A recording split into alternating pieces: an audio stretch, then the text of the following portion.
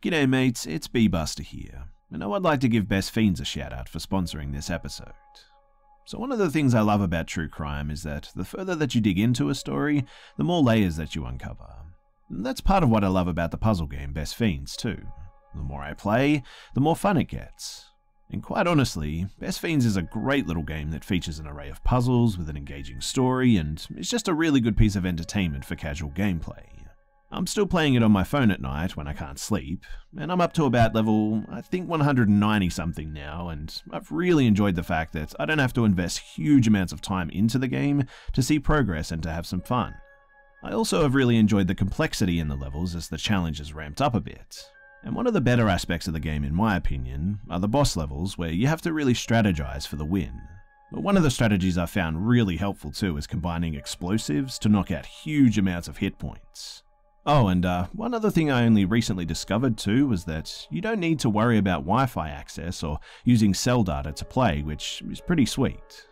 Best Fiends has thousands of levels already, with new levels, events, and characters added every month. It's hours of fun right at your fingertips, and as I mentioned, you can even play offline. With over 100 million downloads and tons of 5 star reviews, Best Fiends is a must play. Download Best Fiends free on the Apple App Store or Google Play.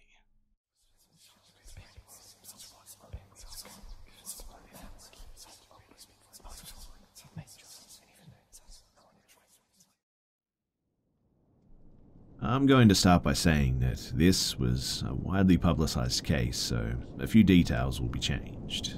But I can assure you that the main part of this is definitely accurate.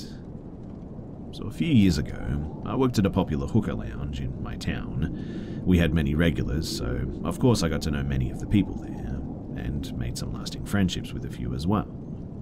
Among those regulars was a group of people that I wasn't terribly fond of, uh, except for one girl, Rachel. Rachel was a kind girl who I would enjoy talking to. I just didn't approve of the people that she hung out with, or the decisions that she made. But it was her life, so what place did I have to say anything? Eventually, Rachel started dating another regular named Ben, who was a part of my friend group.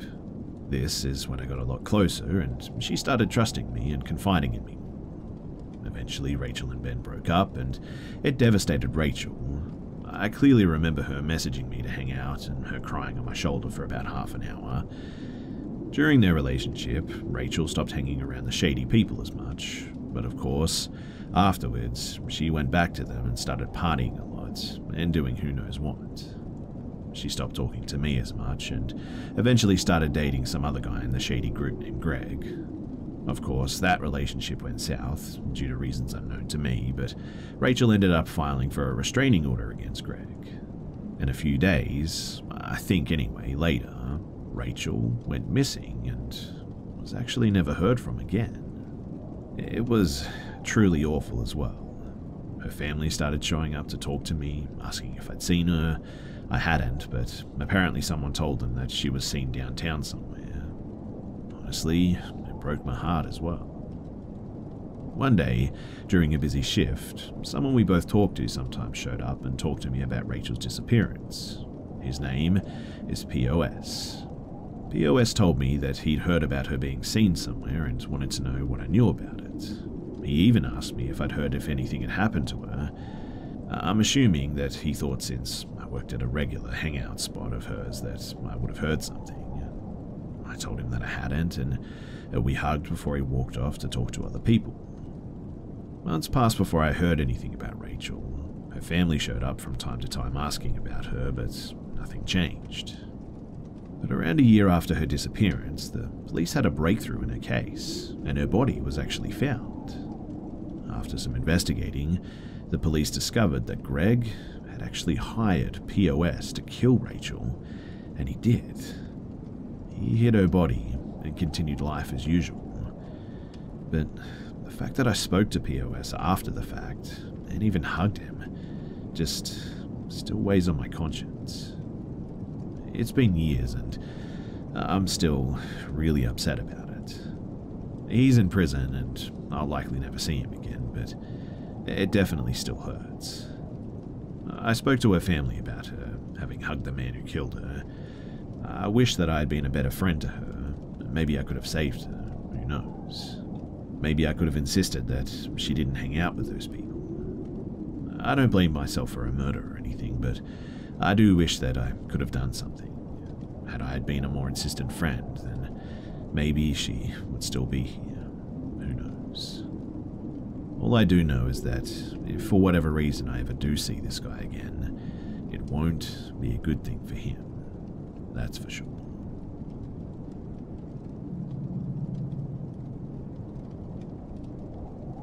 For background, my family moved to the countryside from the city when I was about seven years old, and I'm 21 now. Both my parents had grown up in the suburbs, and had also lived in the capital of our state for about 10 years before we moved.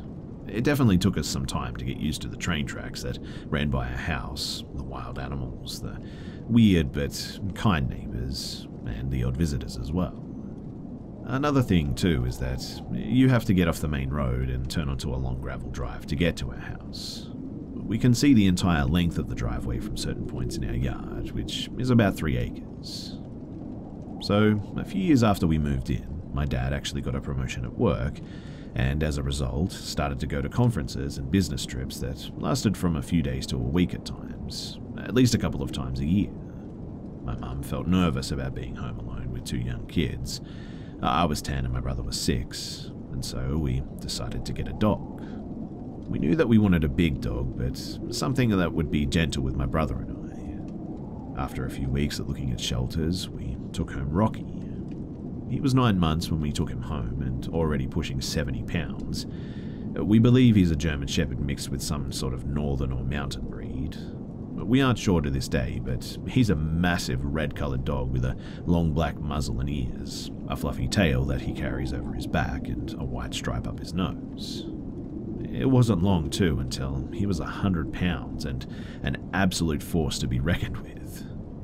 Even though he was very gentle with both my brother and I, loved our cats, and was a big ball of joy around anyone that we brought into our house, he tended to be very territorial and aggressive with other dogs, and very protective of us, especially of my mum and I.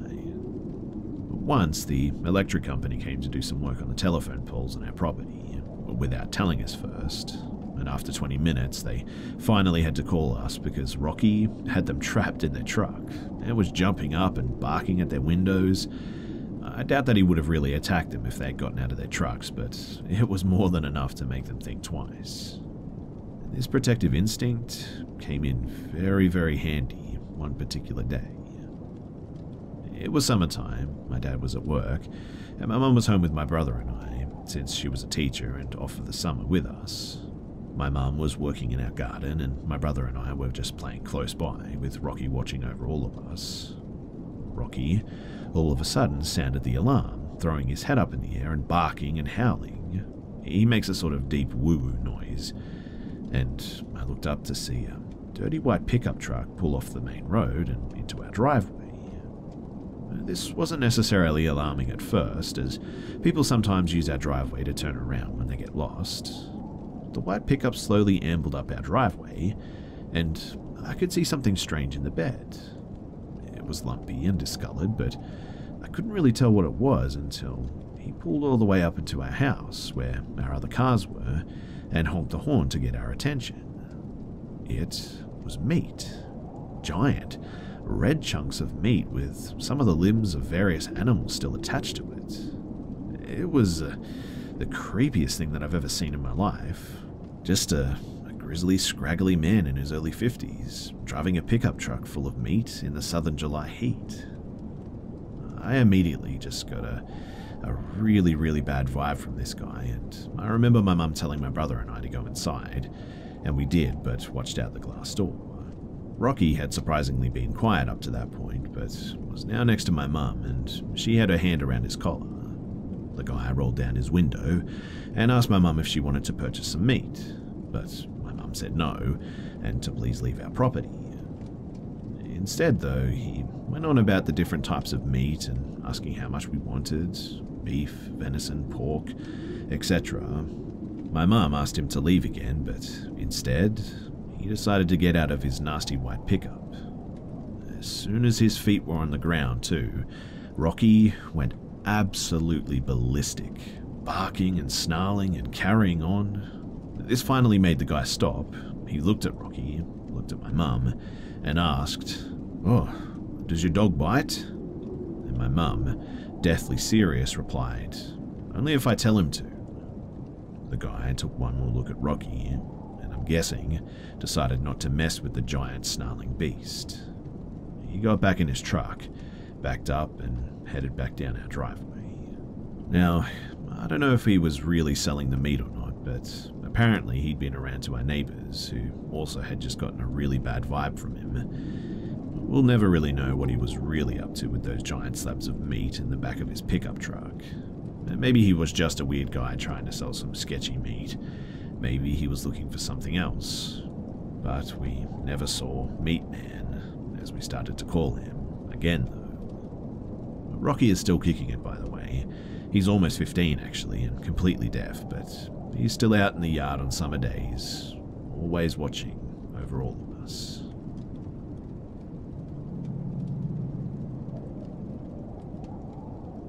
This happened when I was about 11 years old. I lived in a typical North American suburb. I was out riding my bike and had some money in my pocket.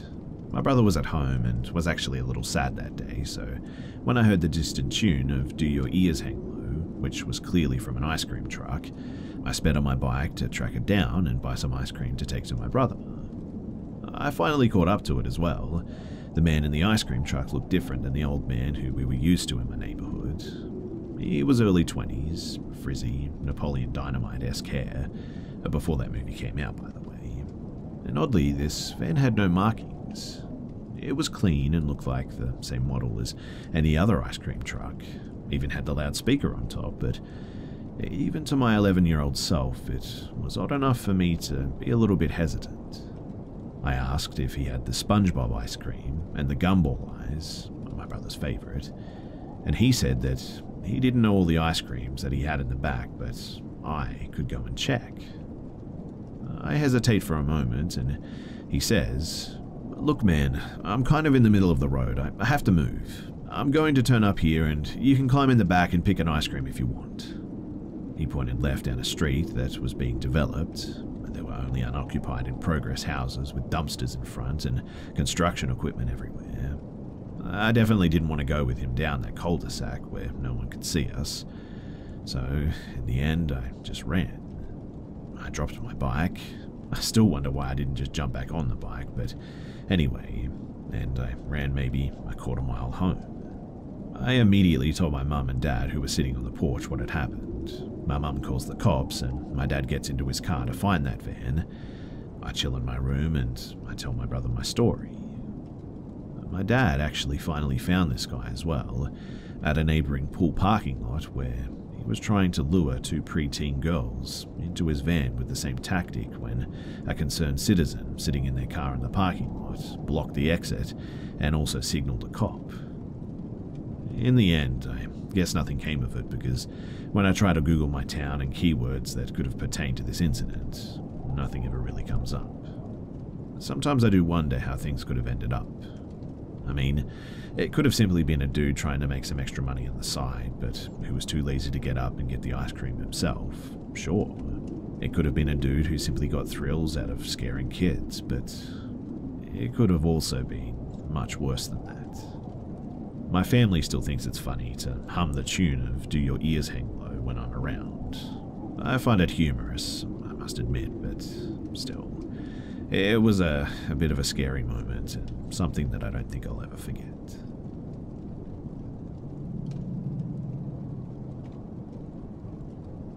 Growing up in the 90s, my mum was always very protective towards my sister and me. Most of the time, it seemed to us like just overkill, like we were sheltered girls. But there was one incident from my childhood that makes me glad that my mum never dropped her guard, even once. So I was a preteen, probably 10 or 11 years old. My mum and I had finished doing some shopping at Sam's Club and we'd stopped at a Wendy's for an early dinner. To my eyes, nothing unusual had happened. We stood in line and ordered, we ate, and then we left. We were walking in the parking lot and almost had made it back to the minivan when my mum said, sort of loudly, that she should probably go to the bathroom before driving home. I remember thinking that that was a bit weird because, well, we weren't that far away. I was just old enough too that sometimes if my mum had to run into a store briefly, like less than five minutes, she would give me the keys and let me sit in the locked van and just read. The back windows were tinted, so it was hard to see if someone was inside, but she would always rush through her business and come jogging back to the van to minimize the time that she had left me alone. So I just asked her if I could have the keys, and she said no. She thought that I ought to try to use the bathroom too. I remember telling her that I didn't have to go, and through gritted teeth, she told me to try anyway. On our way back into the restaurant, we passed a middle aged man. He was a bit dirty looking, as if he'd spent all day welding or working on cars, perhaps. He was of an average height and thin and had longish grey hair. Nothing about him was remarkable to me, and he only made brief eye contact with us as we turned around. Was heading to a pickup truck parked in the front of the lot, while we were parked more towards the left side of the building. When we got back inside, my mum didn't head towards the bathroom though but instead led us to a table where we sat down. Uh, Mum, are we going to the bathroom? I asked. No, my mum said. We're waiting here until that man leaves, that one over there. She was talking about the man that had walked behind us, heading to the red pickup truck. Aside from the grime, he didn't seem too weird to me, so I thought that my mum was making a snap judgment. Why? I asked. I kept catching him staring at us in line, she explained. He would look at you and look away and look back, and then he left right after we did. It just didn't feel right, okay? And I'd rather be safe than sorry. I told her that I didn't see anything and asked if I could get a frosty while we waited. My mum was looking down into her wallet to see if she had the cash for my ice cream when that red pickup truck rolled by the front window, impossibly slow. The man in the driver's seat was turned so his shoulders were almost square with the restaurant as he passed, looking in. His eyes sought us out inside and found me. I will never forget the full bore of his eyes as he stared at me for the whole length of his passing the window before accelerating to normal speed and driving away.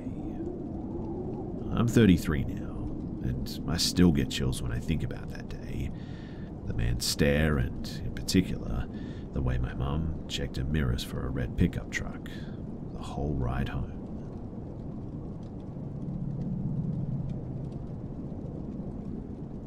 I've been doing my one hour of outdoor exercise at night because I find it most relaxing. My neighborhood is really quiet, and I'm actually pretty lucky to live in a nice area, which I've always considered super safe. I used to walk at night, even before lockdown, because I live right next to a canal, so there's lots of nice paths that are super pretty at night when everything is all lit up by the moon. But anyway, I was walking last night and I decided to go to the shop first because I was hungry, and then detour back to my usual route along the canal. When I was walking, I heard two guys speaking super loudly in German. I live in England, so it was a bit unusual, but not anything that I thought twice about. Uh, they looked around 30, pretty tall, and they had caps on which I remember because they had matching designs, which I thought was pretty funny. They started getting really close, and when I glanced back to look at them, they started jeering, so I knew that they were looking at me, which kind of freaked me out, so I sped walk towards the shop, but had to stop at the road. I wasn't planning on getting hit by a car. They caught up to me though, but didn't stop for the lights to change, so walked across and went into the store that I was headed for, so I shrugged off my hunger and decided to just go for the canal for my walk. I stopped thinking about the men soon after, though, just chalking it up to me being a generally anxious person. I don't particularly like walking past strangers at night, and I'm self conscious enough as it is without them talking to or about me. But anyway, I complete my walk and I'm headed back home. For the story to make sense, too, I sort of need to describe where I was stood. So on my right is the water itself. I'm stood on the path, and to my left there's a big drop that goes straight onto the main road. Next to that road there's a row of houses, and there's a railway bridge in front of me too. I have my earphones in and my music is pretty loud, but I think that I hear someone shouting, so I take one earphone out and I listen, but it's pretty silent, apart from passing cars on the road below me. But that's when I see two men heading towards the bridge, and I immediately recognize them as the two guys who had jeered at me before from their caps. I stop walking as my anxiety floods back and consider phoning somebody because I irrationally think that if I'm on the phone when they walk past me that they won't bother me. But despite the fact that I've been stood frozen for ages, nobody comes out from under the bridge. I wait, staring at the bridge for a while in complete confusion because there's no way they could have just vanished like that. I can see through to the other side of the bridge, so I knew that they didn't turn around and walk away or anything but they certainly hadn't walked through because no one had passed me. After a few moments, I start to think that maybe I just hallucinated them or something. I have no history of hallucinations, though, but I couldn't explain it any other way. So I start slowly walking towards the mouth of the bridge, and just as I'm about to step in, I see it the shadow of one of the men cast across the wall. My blood literally ran cold as I realized what was going on. They were waiting for me at the other side of the bridge, but they must have been hiding behind something so I wouldn't see them. My mind went to a million different places, panicking about what they would do if I walked under that bridge. I was convinced that they would just follow me. If I stayed where I was and phoned for help, I was certain that they would come out and see what was going on and I'd be trapped. So I did the only thing that I could think to do. I quietly ran to the fence that separated the canal path from the drop to the main road and climbed it. It was about thigh height, and on the other side there was a small space where the wall and the drop itself was. I waited for a couple of moments as the cars passed, but thankfully I live in a quiet area, so the road was soon empty. I managed to navigate myself so that I could lower myself off of the drop without A. making much noise, or B. hurting myself too much. At the moment that my feet hit the road, I raced to the side where the houses were and sped walk down that path as fast as I could without making noise, only glancing back when I was nearing the end of the road. Men were still there next to the bridge. I could see that they were looking through the bridge to see where I'd gotten to, and Quite honestly, I felt sick and terrified, but eventually I made it home safely. I don't know what they wanted. I don't know why they were there, and I don't know who they were or if they'll be there again tonight, but what I do know is that I'm not going to be walking at night for a very long time.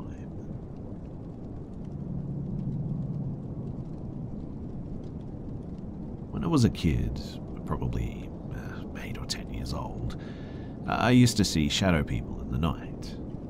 It happened almost every single night, in fact. It was so frequent that I just sort of got used to them. They never scared me when I saw them. They just sort of walked against the wall and watched me was in bed. I remember that they never had clothes, just a figure of a body with a bald head. They used to open my door at night, and I'm pretty sure that one even whispered my name into my ear one night before bed while I was brushing my teeth.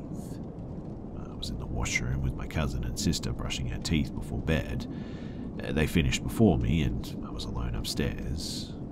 I could feel something behind me too, but didn't acknowledge it until I heard a really faint whisper of someone saying my name right into my ear.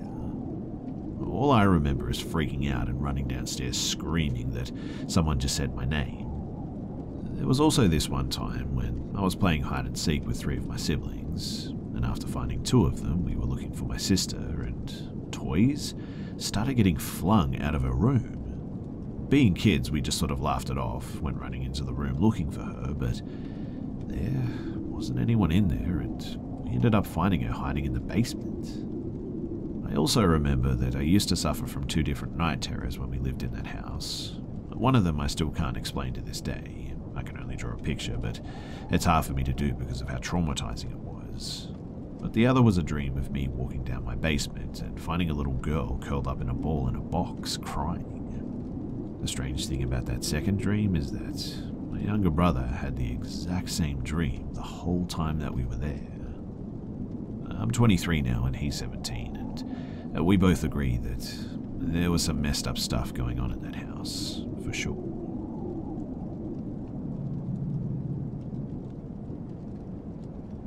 Four years ago, when I was 17, I'm also female, my best friend Hannah, also 17, came over to my house for the weekend. I believe that it was a Saturday night when it happened, but we stayed up late, made some junk food, some movies, etc. It was around 1am when I decided to take a shower and head to bed.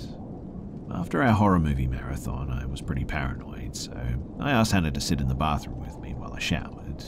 So she did just that. She sat on the toilet and played some music on her cell phone, and we talked about whatever we had going on in our lives while I was showering. Finally, after about maybe 20 minutes of showering, I got out and I grabbed my towel. Hannah was still sitting on the toilet, and she said my name, so I turned to face her, and that's when I noticed some movement in the bathroom window above her head. The window kind of distorted it slightly, but I immediately knew what I was looking at. It was a face, a man's face, smirking at me from the other side of the glass. The man immediately ducked out of view, and I quickly faced away, wrapping my towel around. I whispered to Hannah that there was a man looking in the window, and she laughed, thinking that I was messing with her. So she bravely stands up and, to her horror, becomes face to face with this creep, staring and smirking at us.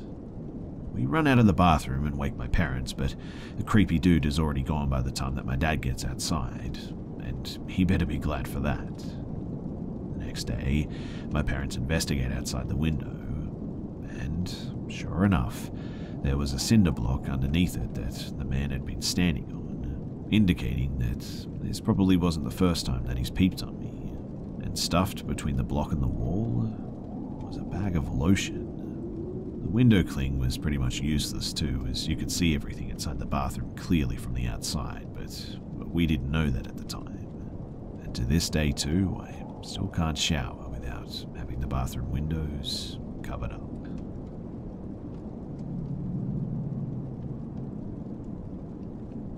I work second shift at my company, normally from 5pm to 1am. On the street that I work, there are two ways for me to get home. To the left takes me over some train tracks. There's a 24 hour burger place and a Mexican fast food place that's open till about 3am. The police station is maybe 10 minute drives from the tracks too, and to the right it takes me straight to the highway, which gets me home. If I go to the left, I have to take side streets to get to the highway as it doesn't connect for a few blocks, or go back over the tracks and past my workplace to get to the highway. I hope I didn't lose you there, but this is important. So, tonight I got out a bit early, about 12:30. Lucky me, right? I was hungry, so instead of going straight home, I decided to go for some burgers. But usually I have my window rolled down, listening to music on my phone. As I closed my car door, I realized a rather large spider. Okay, it was the size of my thumb, but it's still a big spider to me. Has spun its web outside between my window and my side mirror. Spiders, they really freak me out. And if it had been inside, I would have beat Usain Bolt getting out of that car, let me tell you.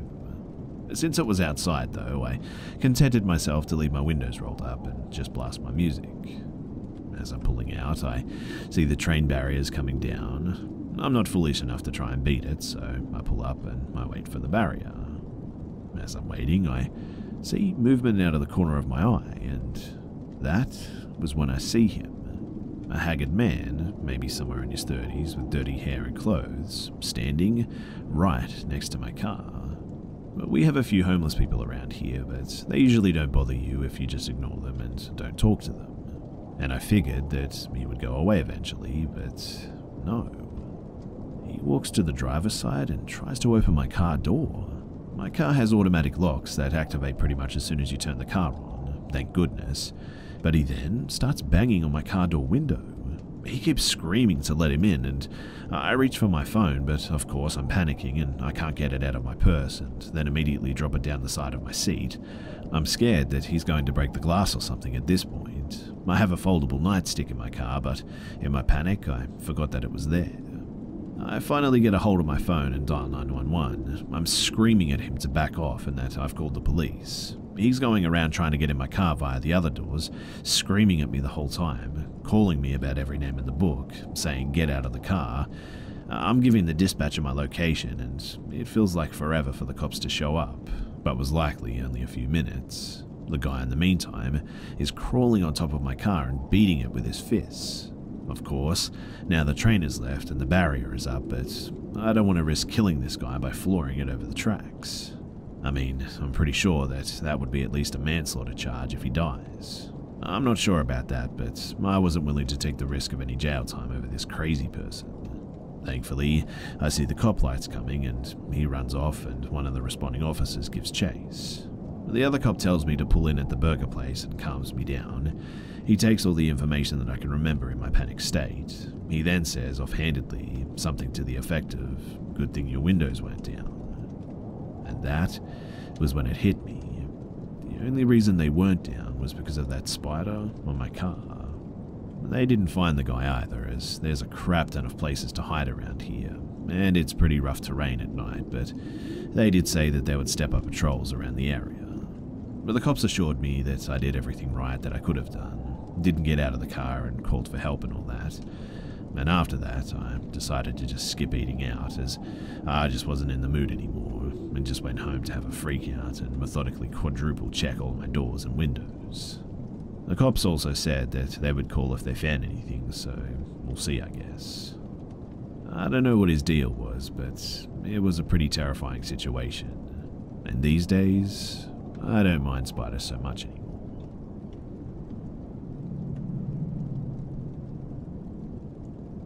When I was a kid, I lived in the deep forest in northern Canada.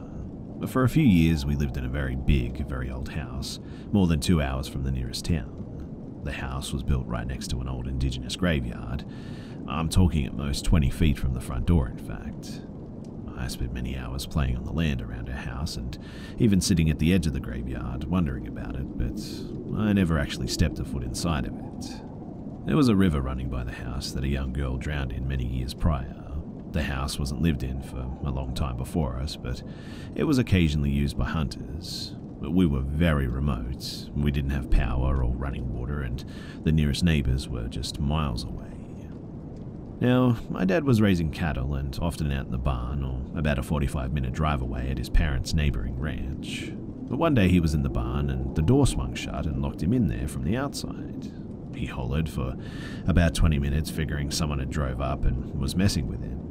When suddenly, the door was unlocked and there was just nobody there. Nobody driving away and nothing. The first time we heard the chanting, too, was shortly after that incident. My mum and I were inside cooking dinner on the wood stove. It was completely dark outside, so it must have been winter. When all of a sudden, clear as day, we hear indigenous chanting coming from outside.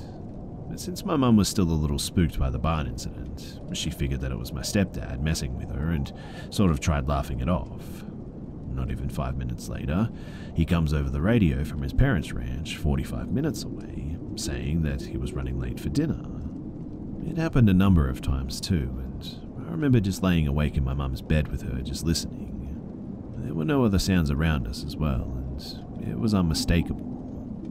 My baby brother moved out of his room into their room as well because his door just kept slamming shut without any explanation, and stopped once he stopped sleeping in there. There was a lone wolf that wandered around our property at night. It never harmed us or any animals, but we saw it in the dark a few times, and there were always tracks as well. I remember dreaming of the same lady over and over again. She had long braids with a dandelion behind her ear, always wearing a red dress. I told my aunt that I was seeing her for real, but it was always in the middle of the night, so I can't be too sure if I was just dreaming or not. I went hysterical one night, though, apparently, crying to my mum because I was scared to die, completely out of the blue. I was a kid when these things happened, so I'm not super clear on all the details, but I always wondered if it was them and if they were upset with us or something. Eventually, though, we moved away and life moves on, and we have a cool story that nobody believes. But then, just under 20 years later, in a new town in a different province, I'm sitting in a Reiki session for my daughter for the first time, and halfway through, the therapist looks at me and says that she senses a strong indigenous spiritual presence around me. It's such a strong feeling, in fact, that she has to say something. She says that she can feel that I was accepted by these things as a young child, and now, they're my guardians or something. So I guess in the end I got my answer. They were never angry to begin with. For me, anyways.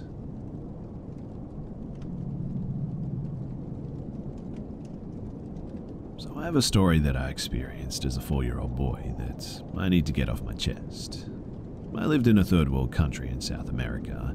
My young parents moved into a new apartment. The owners had mental problems, both the mother and her son. And I don't remember them much, but from the stories I've heard, they were pretty scary people, had a dark aura to them or something. Anyways, I remember seeing these mannequin looking things move around the house while my parents were sleeping, and every night I would see the same thing. But they would hide in the washroom and in our living room and pretty much everywhere. There were at least uh, 10 to 20 approximately. They looked human, but with no emotions, and their skin looked almost fake and pale, like plastic. My parents tell me, although I don't remember this, when we passed by normal stores with mannequins, that I would start crying and they would be confused and didn't know why I was crying. I don't think my parents could see them at night. They seemed to have a ghostly form and a physical form almost. Either way, though, it was hell just about every night seeing these things watching me from outside my parents' room. I sometimes slept beside them at that age. I also had a small crib because I was a very hyperactive child. I could hear them moving stuff around, and I remember seeing their emotionless faces. I could not go to the bathroom alone without my dad, too, because I was petrified.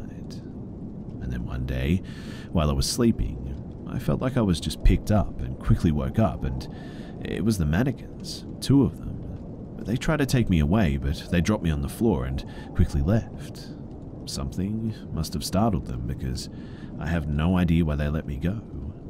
My parents woke up and quickly found me in the middle of the room on the floor. They had no idea what or who moved me, and it was only later on that I told them what happened when I was a teenager. Now, to give a bit more detail on their appearance, they had plastic looking arms, they were pale, no hair on most of them, or any facial expressions. They were average height, skinny to average weight, but not as skinny as mannequins. But dead eyes that I remember and will never forget. Had a, an androgynous look to them almost. But the aura was the most horrific thing that I've ever felt to this day.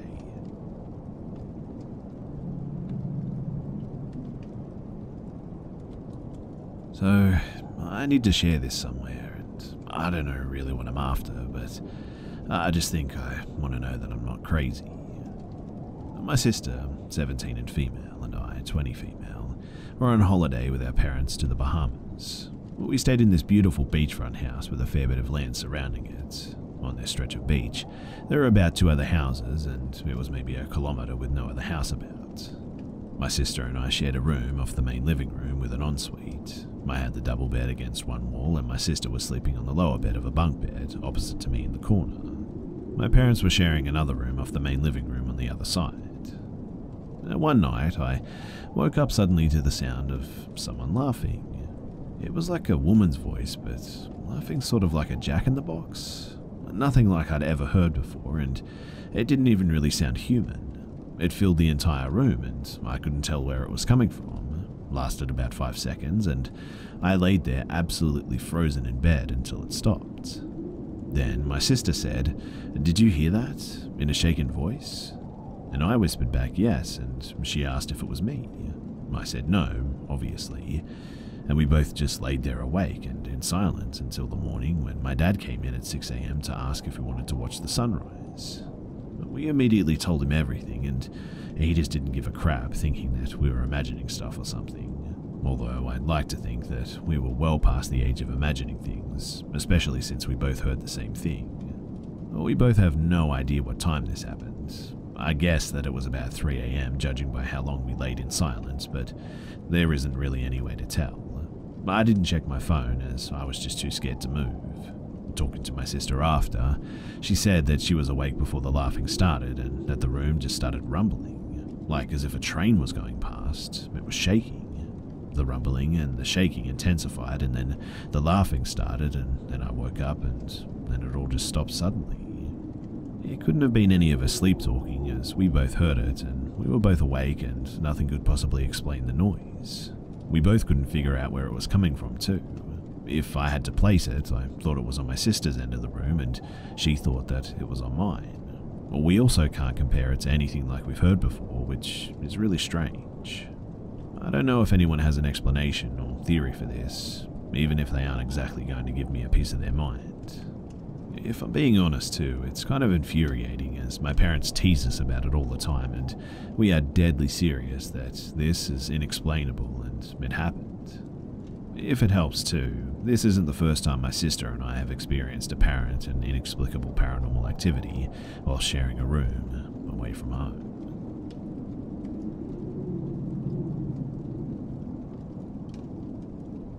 This incident that I'm sharing happened in October of 2018. I'm going to try my best to keep this as short as possible and try not to include useless details, but there's a lot to this entire story, so hang tight. My first semester of college was in the fall of 2018. I met this guy, Ron, through a friend of mine, and he seemed pretty cool. I also thought that he was cute, but I'd heard from other people around me that he had a girlfriend, so I wasn't flirting with him despite the initial attraction. I got put in a group chat with Ron and a couple of other people, and me and I started texting on occasion. Fast forward a few weeks though, and I'm walking back to my dorm from an event that my university hosted. It was around 10:30 at night. I'd been passively texting Ron that night because he missed the event and wanted to know what was going on. And I made a comment about how I wanted orange juice for some reason. Probably because I always crave OJ, after 9pm anyway. I got back to my building and he was standing outside of it. Now, I'd never told him where I lived, but the girl he was supposedly dating lived in a building connected to mine, so I didn't question it. I talked to him for a second and then walked up to my room where I had a window. And he was still standing outside, and I got a text from him saying that he was going to buy me some orange juice. So I opened the window and said it was a nice offer, but unnecessary. In response, he said something along the lines of, I want to flirt with you. Am I allowed to do that? I asked what he meant, and he said, Well, you're cute. I want to flirt with you. Not in a weird way, but like in an encouraging way, like a gay best friend or something. And I said, Uh, sure? He asked if I could come down to talk, and since I was apparently stupid and naive, I did. And then he asked if we could go inside. I'd had male friends in my room before, and for some reason, I didn't see any red flags with Ron, so I said okay. We talked about multiple things, and was normal at first. But things soon got pretty weird. You see, Ron was sitting at my desk, and out of his blue eyes just rolled into the back of his head. And then his voice changed. Like his accent changed from a regular American accent to Russian, I think. And then he started saying scary stuff like how he was trying to figure out what mask to put on around me and that he never talks in his real voice. He would also chuckle out of nowhere and said that he was anti Semitic and racist and hated everyone. He explained that being my gay best friend would mean that he would give me encouragement if I needed it, whether it's emotional or physical. He said, and I'll give you hugs, but not in an affectionate way, like this is affectionate. And he proceeded to wrap his arms around me in an iron grip and stare at me, unblinking. I said, Okay, you can let me go. And when I moved, he didn't budge. So I said, Dude, that's enough, stop. And he finally let go of me after I told him multiple times. But before he left my room, he said that he was in fact dating the girl that I'd mentioned, but that he would be hitting on me if he was single. He said that screwing friends isn't okay, but that he would screw me if I really needed it, because he apparently found me attractive. He also admitted that he had lied to a lot of people about his lineage. He told everyone that he was Slavic, but he grew up in my home state. He also had three different IDs in his wallet, all with different names. He would sometimes switch back to talking about normal stuff, like how he loves his girlfriend and classes, and then he would just switch back to that weird thing. On the way out of my room, once I stressed that he needed to leave, he said, Hey, uh, do you want to know how bad the locks are on your door? I said no. He then asked if he was attractive and genuinely intimidated at this point. I said, yeah. I know it's dumb, but I thought that if I said otherwise that he'd get angry and just go ballistic. I got him to leave and I closed the door. I looked at the people to watch him leave, but he stood outside of my door just staring at it for a good five to ten seconds.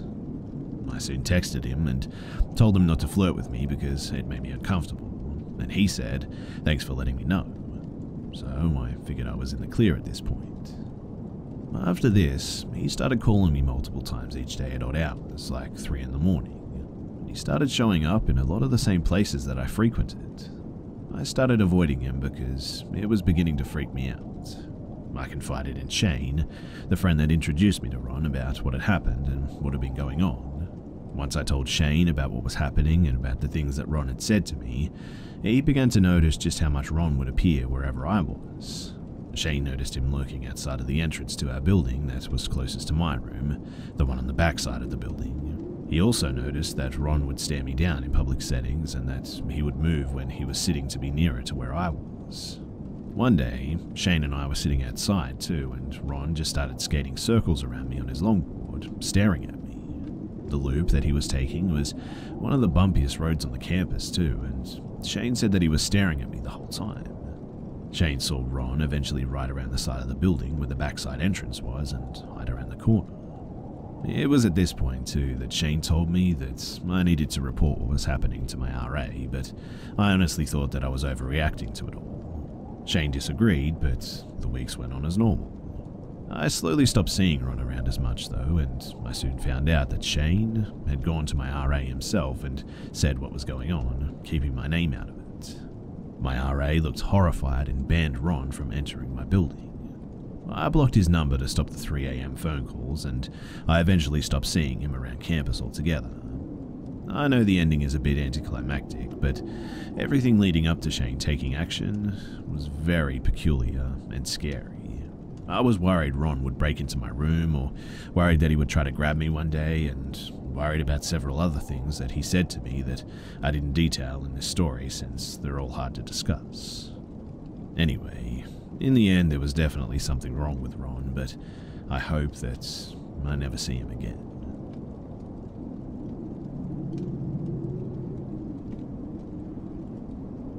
This is going to kind of be long, but hopefully it'll be interesting to somebody I hate how much paranormal stuff is often faked. It takes all credibility away from the study of it. There are real things, though, that are unexplainable that I wish would be taken more seriously by science. And since I have first hand accounts of something unexplainable, I feel I should at least share what I've experienced. I guess that I just think the more true information out there, the better. So some of this kind of gets a little, well, I guess I would say bigger than I ever expected. I'm agnostic and not very superstitious. I believe in ghosts, but I'm always questioning everything. Trust me, I don't blame anybody for not believing in this. But just a warning some of this is going to sound, well, for a lack of a better term, made up. But I can assure you that it's 100% the truth. And this is the only paranormal stuff that's ever happened to me. Nothing before and nothing ever since. Okay, so senior year of high school, my friend and I got a Ouija board from Toys R Us. It was almost Halloween and we wanted to do something kind of creepy. We used it a few times and it worked on and off. Sometimes it would work and sometimes it wouldn't, but when it would work, it would answer questions like knowing our family members' names and stuff like that. But we thought it was pretty cool, but I now realize that it could have just been our subconscious moving it or something. I don't trust any answer if a person on the board knows the answer as well. I mean, I've seen a scientific study on it, and it is totally a thing. A little detour as well, but basically a group of people in the study used a Ouija board and it was answering questions and working great. They then blindfolded everyone and all the Ouija board spelt was absolute nonsense. While I do believe the board answers on its own, I think that some answers can sometimes be filled in by someone's subconscious if there isn't a good connection. But anyway, Uh, we thought it was cool still and we told our friends. One of our friends wanted to try it in a cemetery, and we were down. So, a few nights later, around 11 or midnight, the three of us went to a cemetery. As we used it, it seemed as though there were little noises like rustling and little twigs snapping just all around us. We'd take little breaks from it and the noises would stop, and once we put our hands back on, the sounds would start up again. The sounds may have very well been just coincidental, but uh, we were creeped out nonetheless. At one point, when I looked in the direction of a sound, I could have sworn too that I saw a dark figure, about four feet tall, dart behind a tombstone in the distance. It was dark, so I really don't know, but I was creeped out and my eyes may have been playing tricks on me. Who knows? We then left the cemetery and headed to a park next to an orchard. We started using it again, and we're hearing the same kind of noises though. This was a long time ago, but I'm pretty sure there was a sound of something running towards us from the orchard as well. I kind of remember it, but my friend remembers it really well apparently. But we kept talking to it though, and all of a sudden it started answering every question with just fire. And no matter what we asked, it was always fire. We were asking, Are you talking about hell? Did you die in fire? Am I going to die in fire? But still, all it would say is fire. I think it just kind of stopped working after that, and it started spelling nonsense and moving really slow. So we then just packed up and we headed home. Now, I dropped off one of my friends at his house and was driving to my other friend's house to drop him off as well.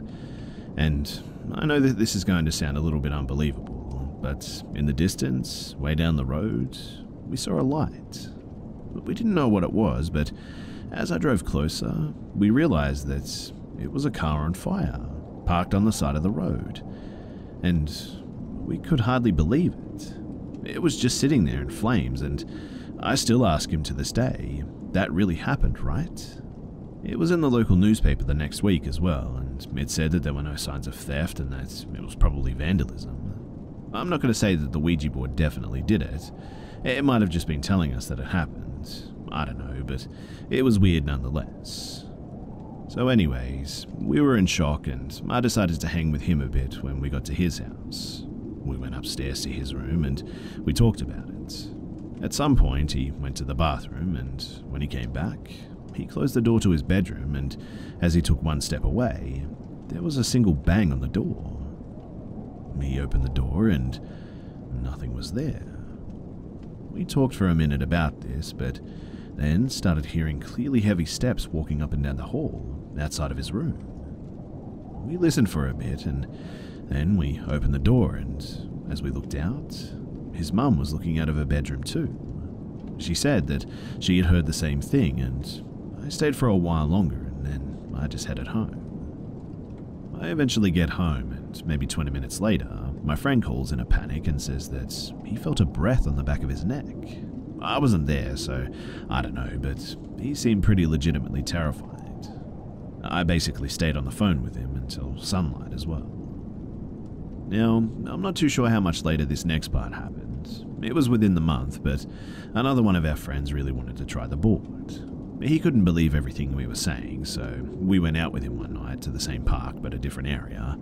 It was a picnic table up on a hill. It was next to a waist high fence blocking a 30 foot drop down to the orchard, and it immediately started working as soon as we touched it. We talked to it for a while. I don't really remember exactly what it was saying. Our friend was pretty shocked, but still not convinced, and he then asked it to make a noise.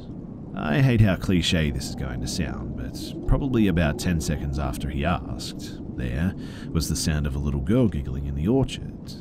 It was a high pitched little giggle that went for maybe two seconds. We all heard it clear as day as well, and none of us could believe it. Our friend kept saying, There's no way, there's just no way.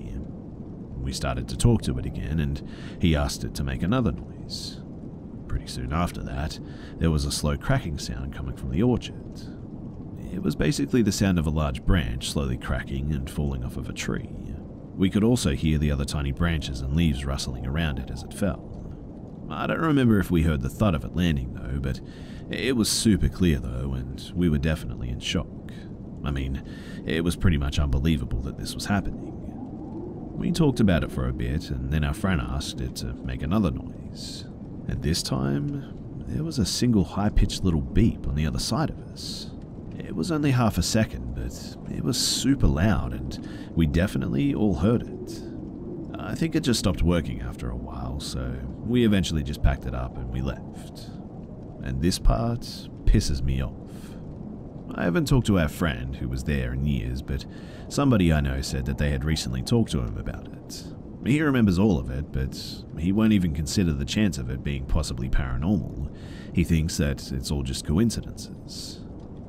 Anyway, another one of our friends still wasn't believing us. We used it one time in the park with him and someone else too, but it wasn't that great. It just wasn't very responsive or something those two times. We asked it to make a noise and nothing happened, and it just wasn't happening, so eventually we gave up. But then, maybe a few weeks later, we went up to this guy's cabin with some friends to get drunk. A few friends had supposedly seen a shadow figure there, so we thought, hey, why not? Let's bring the Ouija board out. We get super drunk and then we pull it out. Uh, one of our friends who doesn't believe it gets on the board. He started asking it some questions about family names and stuff like that. It's answering some correctly, and others are just nonsense. He's completely wasted at this point. He starts calling it every bad word you can think of. He's just being an idiot, basically, and trying to be funny. He keeps cussing at it and putting it down. He kept yelling, Prove you're real. Do something. Prove it, you pussy. He kept going like this for a while, too, and then he just packed it up and kept getting drunk and smoking cigarettes. Nothing really happened for the rest of the time that we were at the cabin as well. We might have used it in the morning or something. I don't really remember, but we drove back the next day, and when I got to my house, I went to my room and got to my computer. I was hooked on MySpace back then, and my friend who was yelling at the Ouija board and I actually had a little band page on MySpace. I clicked on her page, and the profile views had somehow changed to 666. For anybody who didn't have MySpace, MySpace would keep track of profile views and show a counter on your public profile and on your homepage as well. I logged into the band account, and on the homepage, there was still 800 something views like normal. I looked at the profile again, and there was still 666. No matter how many times I or anybody clicked on the page as well, it would stay at 666. In fact, it stayed like that for two weeks, and then all of a sudden, one day it just went back to normal. There's still comments on the profile where people are talking about it. Everybody was a little bit creeped out by it. But after that, we didn't use the board for a few years. We let somebody borrow it at some stage, and then we just stopped hanging out with them, so we just never got it back. We didn't really care, though. I mean, we just didn't feel like using it anymore after all of these experiences anyway. Now, a few years later, I was sharing a house with my friend, and it was almost Halloween, and we had some friends over. We were all getting drunk and talking about our Ouija board experiences. We were talking about how we should have gotten the board back. I told them how my mum used to make her own when she was a kid and that you can make them out of literally nothing. My mum always told me, too, to never use a Ouija board. She had some bad experiences when she was a kid and knew that it was very real and very dangerous. And honestly, these stories and warnings only made me want to use it more. So, a quick story about her as well that's pretty crazy. She and her sister were using it at her aunt and uncle's place. There was a phone call, so her aunt left the room to go and answer the phone. My mum asked the board who's on the phone, and it started moving to a bunch of just different numbers. Her aunt hangs up and comes back into the room. Her uncle asked who was on the phone. I don't remember exactly what it was, but basically there was a mix up with someone's flight. She maybe said something about the flight number and some other numbers, and long story short, all the numbers matched up with the board. Her uncle, who was also very religious, didn't like that. Up until then, he had only thought it was a little trick or a game. He began asking it questions and mentioning God, and the board began saying vulgar things to them. He grabbed the Bible and started reading scripture to it. I don't know how long this went on, but the board ended up telling him that it was going to kill him. They asked how, and it responded car. I think it was two weeks later, too, that he was driving somewhere and got into a really bad car accident that left him in a critical condition. Some older women in my family, like my mum's grandma or her great aunt or something, told my mum once that she sent something with her, and she said that my mum was like her and had a gift. My mum has said that she sometimes gets weird feelings like someone's there, but nothing too crazy. She's not seeing and hearing ghosts all the time or anything like that. I was thinking if maybe this is possibly why my Ouija board experiences were as crazy as they were. Again, I don't know, but it's a hypothesis. I'm definitely not thinking I'm psychic or anything. I've never felt anything like that. All I'm saying is that maybe I just inherited enough of it to make the Ouija board do crazy things. I don't know. Maybe none of that is real, but it's just something I was told. I have no idea. It all sounds a bit crazy to me, and I feel a bit embarrassed even saying it. But anyway, back to the story now. So, me and my friends were all drunk at our house. I made a Ouija board out of a 30 pack box and a shot glass. My two friends started using the board, but it was hardly working. I then sat down to give it a try, and as soon as we asked it a question, it worked. It was moving at a decent speed, and I used it for a bit, and then my friend swapped in. The board was still working for them, and it told them its name was Agatha. It kept working for the next half hour or so as well, and then we stopped. We used it one more night after that with somebody else, and it worked again. I don't remember anything interesting happening that night, but some time passes, and me and my friend are sitting on the couch one day. We're watching TV, and we start hearing those heavy footsteps again from upstairs. We just sat there, terrified, as we listened. But they were just walking up and down the hall for some reason, and they stopped, and we went and looked, but nothing was there. Another time, we were sitting on the back deck. There was a door about 20 feet from the chairs. It led to this little side room, and all of a sudden, there were several quick knocks coming from that door. Again, we just froze and stared in shock. I had crazy goosebumps at that point, and my eyes were watering, and I wasn't about to cry, but that's just for some reason my natural ghost reaction. Even sometimes, if I'm just hearing a ghost story from a coworker or a friend that I trust, I get goosebumps. I don't know why. I, don't think it's an energy thing or anything like that. I've never felt the electrical energy that they describe. I think I'm just creeped out by it all a lot. And for some reason, it only happens with the paranormal. I don't know, but it's just a different kind of fear or something. Anyways, another time we had a few other people over and we were all drinking down in the basement. There was a flimsy metal door that led outside, the kind that lifts up from the ground. We were drinking and listening to music when all of a sudden, something started banging really loudly on the metal door. It probably banged about four or five quick times. We all froze and looked at each other and we turned off the music. I walked up the stairs and pushed open the metal door, and nobody was there. We obviously looked around, but there was nothing there. We lived way out in the country, so we kinda already knew what it was, right when it happened. But a few weeks later, I was sitting in my room and there was an empty cereal bowl sitting in front of me on my desk. I was looking at my laptop and in the corner of my eye, I saw the handle of the spoon lift up about a centimeter and then flick two inches along the side of the bowl. It was a ceramic bowl, so it made the little click sound, and I definitely heard that. Another time one night, I was at my parents' house. My roommate and I were in a band, and a lot of my recording stuff, like my computer, was still there. I was working on something, and all of a sudden, I heard a cat start yowling. It sounded exactly like one of our old cats, and it was really slow and drawn out. But the weird thing is that it sounded like it was coming from our attic. I walk into my closet, where I have a little push up opening onto the ceiling, where you can get into the attic, I would blow smoke up into it when I was smoking weed in my room, so it was already open. And the yowling didn't stop. I stared up at the hole, and it sounded like the cat was right up there above me. I called the cat's name a few times because I didn't think it was anything weird. I just thought our cat somehow got trapped in the attic when all of a sudden the yowl just started to change. It slowly started morphing into a voice of a, an old woman. With each yowl, it slowly started sounding more and more like Help Me. It was at the same exact pace as the yowls, same pitch and everything, and it just took on a human voice. It was weird and really creepy living it. I just kind of stared up at the noise and I was definitely freaked out, but I almost didn't believe it at the same time.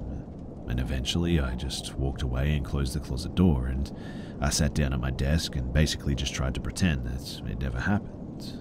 I was definitely scared, but I didn't want to show it.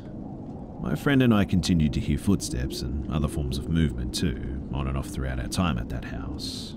And the only time that I ever definitely saw something was at that house. So, I was the only one home and I was recording something on piano. I was sitting, staring forward, listening to the playback, when very quickly, a shadow of a person darted across the wall right in front of me.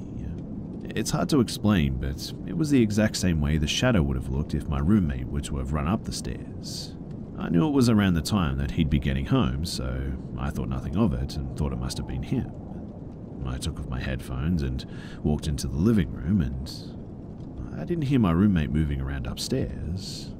So I looked out the window, and his car wasn't there.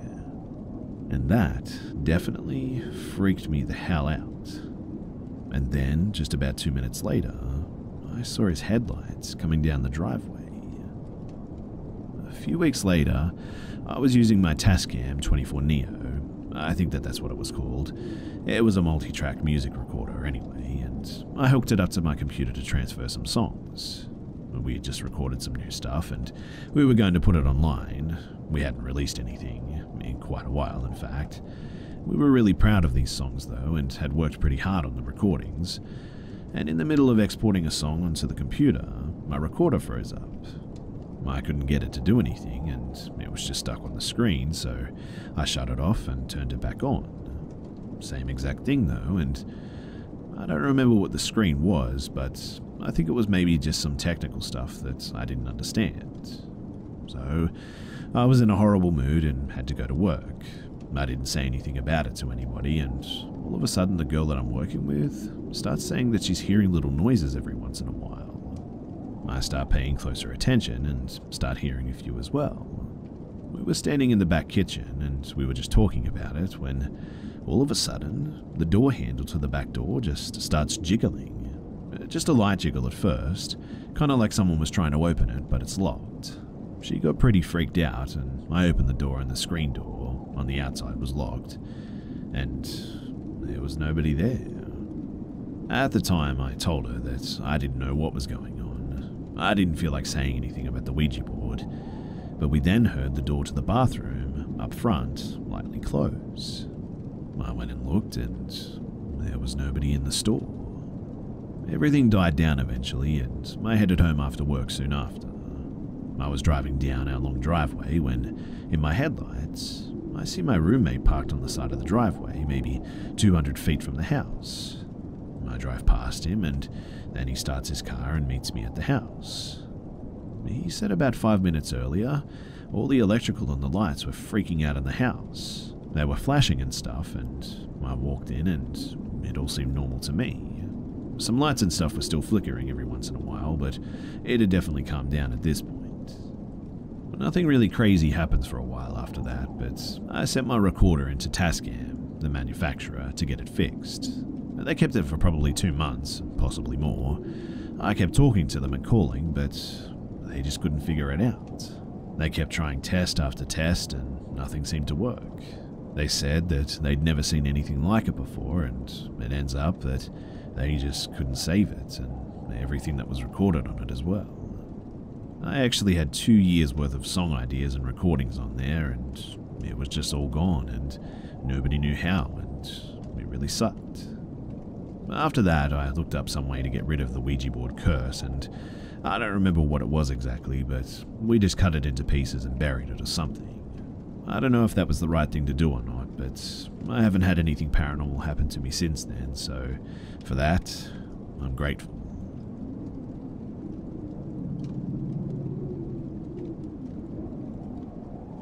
Back in autumn of 2010, in my early 20s, I was back at my parents' house, bored, enjoying life with pretty much no responsibilities, waiting for my school program to start in late November. All my friends and brothers were busy either with work or school, so I was looking for some sort of a job that I can do for maybe a month or so, full time, and maybe continue part time when I start school. Mind you, this is in Quebec, Canada, late September. Beautiful, by the way, and it's already getting pretty cold. My younger brother calls me and tells me that he has given my number to someone who is recruiting people for someone else. No big deal. The guy calls me though and tells me that he's looking for people to work for his new company of cleaning services, housekeeping, that has this contract with the YMCA all over the province and that will be paid $25 an hour cash under the table, meaning undeclared, for basically cleaning up YMCAs, and that no professional training was needed for this job. Now, I may have been young at the time, but I was not stupid. There is no job that pays $25 an hour cash, undeclared money for housekeeping because even the professionals who clean up hospitals started around $19 an hour, and that's before taxes. So, whoever would pay cash for housekeeping would pay maybe $12 an hour, maximum $15 an hour, and even that would be too generous. Right away, my curiosity is piqued though, and I have to know what's going on and what this job is really about. We set up a meeting for the next day evening at 5 pm. He tells me that he'll come pick me up and take me to his boss. I give him an address in my neighborhood, but not where I live. The next day, I dress professionally like someone going for a job interview. I put on a nice autumn coat, and underneath my right arm sleeve, I put on a huge sharp knife that can easily kill someone if stabbed at the right spot. Because of past experiences from childhood, I've learned that humans can be really dangerous, and so I never trust a stranger. That's a story for another time, though. So I go to meet him, and he's already there.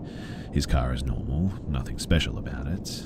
I get in the back seat as there's somebody already in the front seat. But the first thing that hits me is the smell of just dried blood. The smell of dried blood is a distinct smell that you can't forget like the smell of fresh blood, that metallic smell, unforgettable, and again, past experiences from childhood. I get in the car all jovial and courteous, but then I notice that there are actually three in the car. The driver, the guy who I've been talking to, is a huge white guy, at least six foot five tall, fat, in his early 40s. He's not the kind of fat that is obese, though, but the kind of fat you know used to be into sports, football, or bodybuilding when he was younger something like that.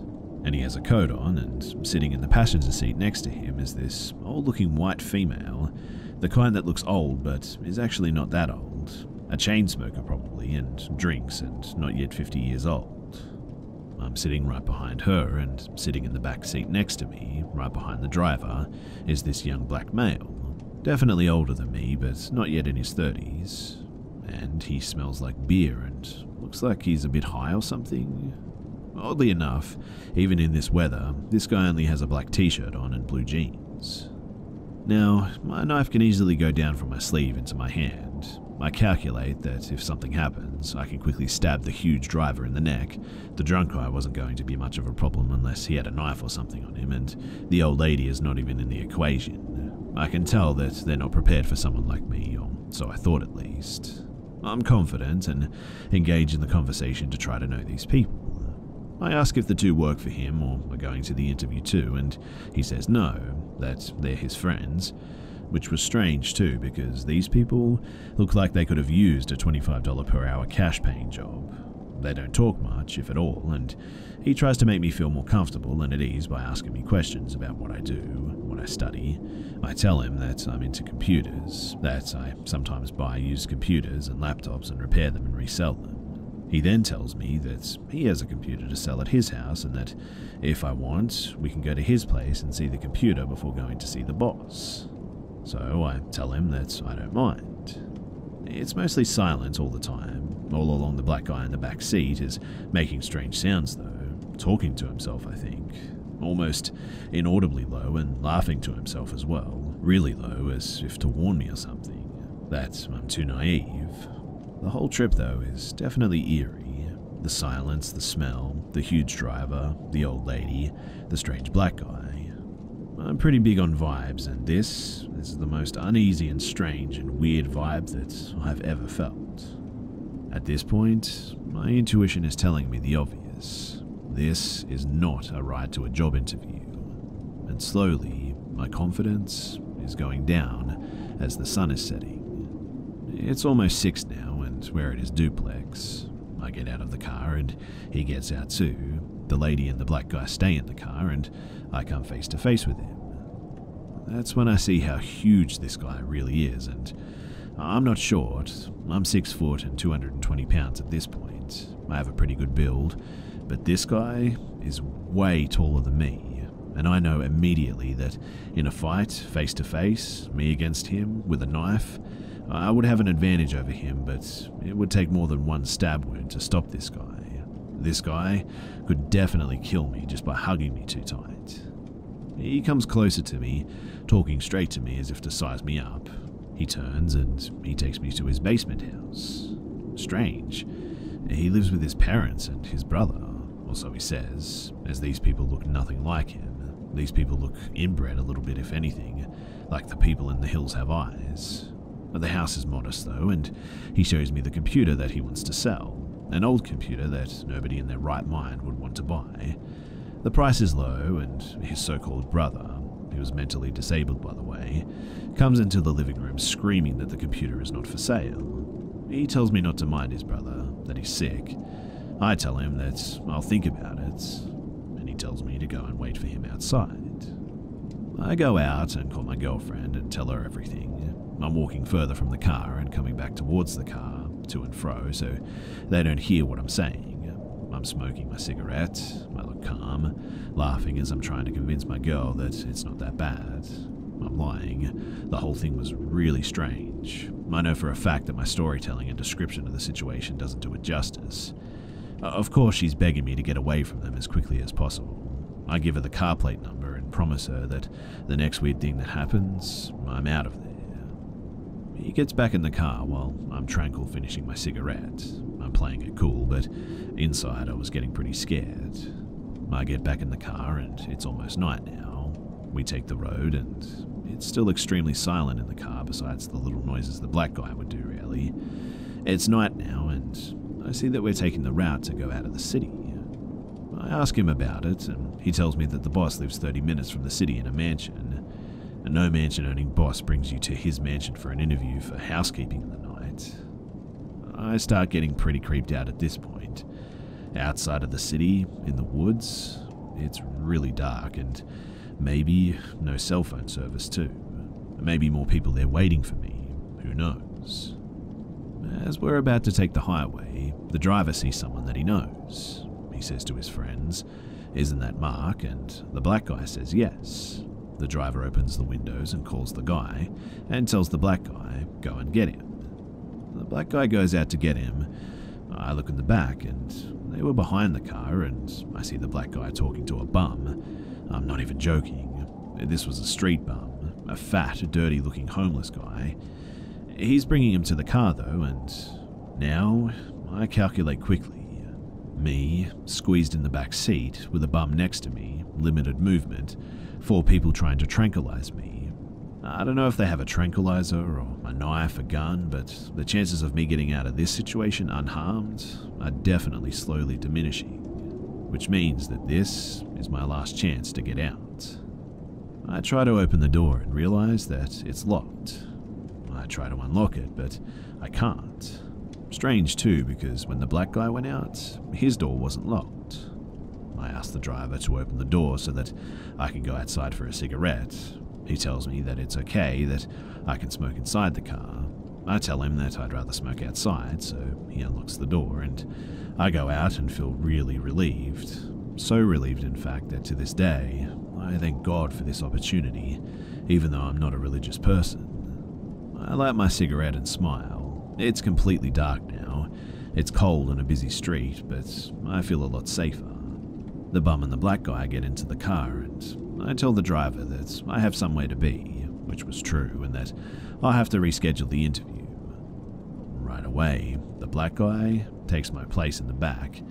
He was in the middle seat in the back, waiting for me to get back into the car, and closes the door as if satisfied with my decision. I lean on the passenger side window, the old looking woman's seat, to talk to the driver, so she's in between me and the driver, He's telling me that they can take me wherever I want to go and we'll go see the boss later, blah blah blah. When the woman leans towards underneath her seat, as if to take something from her purse, and quickly he puts his hand on her leg as if to stop her. She slowly sits straight again, and I see everything. I smile at them, I back up, get away from her window, and continue calmly smoking my cigarette on the pavement, enjoying the cold autumn air while he's begging, telling me to come back into the car and that if he doesn't bring a potential worker tonight, that the boss will get really mad. For a $25 an hour job, you don't need to beg anybody. I mean, how many jobs would pay that amount without requesting any qualifications, right? I tell him that I'll just call him. I have further plans for these guys, and then I just leave. I'm far away from my parents' house. I'm completely at the other side of town. I walk for a little bit and make sure that they're not following me. I see a bus and I hop in and I go about my business. I get home around 10 pm. The driver is still texting me, telling me that the boss is still willing to meet me, mind you, at this late hour. I tell him that I'll just call him back, and I call my friends and tell them the story about what happened. I want to go back. I'm willing to go back into the car and go meet this boss outside the city, as long as some of my friends and brothers are in the car behind following us, armed and ready for whatever. Back in our teens, we would have done this with pleasure. But these days, my friends have responsibilities. One has a family too. The others have jobs to go to in the morning, so only one of my friends is willing to come. So in the end, we just let it go, like cowards. I still regret that because I would have loved to have caught them in the act and got them in trouble with the cops or something. In the end, I didn't call the police either because I didn't know what to tell them. I grew up being taught not to trust the cops or call them for anything pretty much. That was stupid, I know.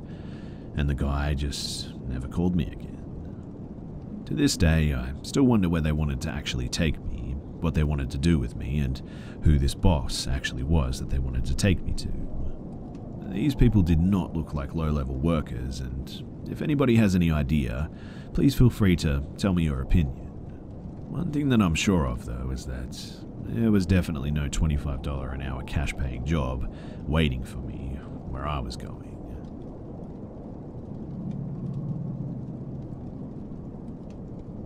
So, this was probably about six or seven years ago now, pegging my age around 16 or 17, I think, in Ohio.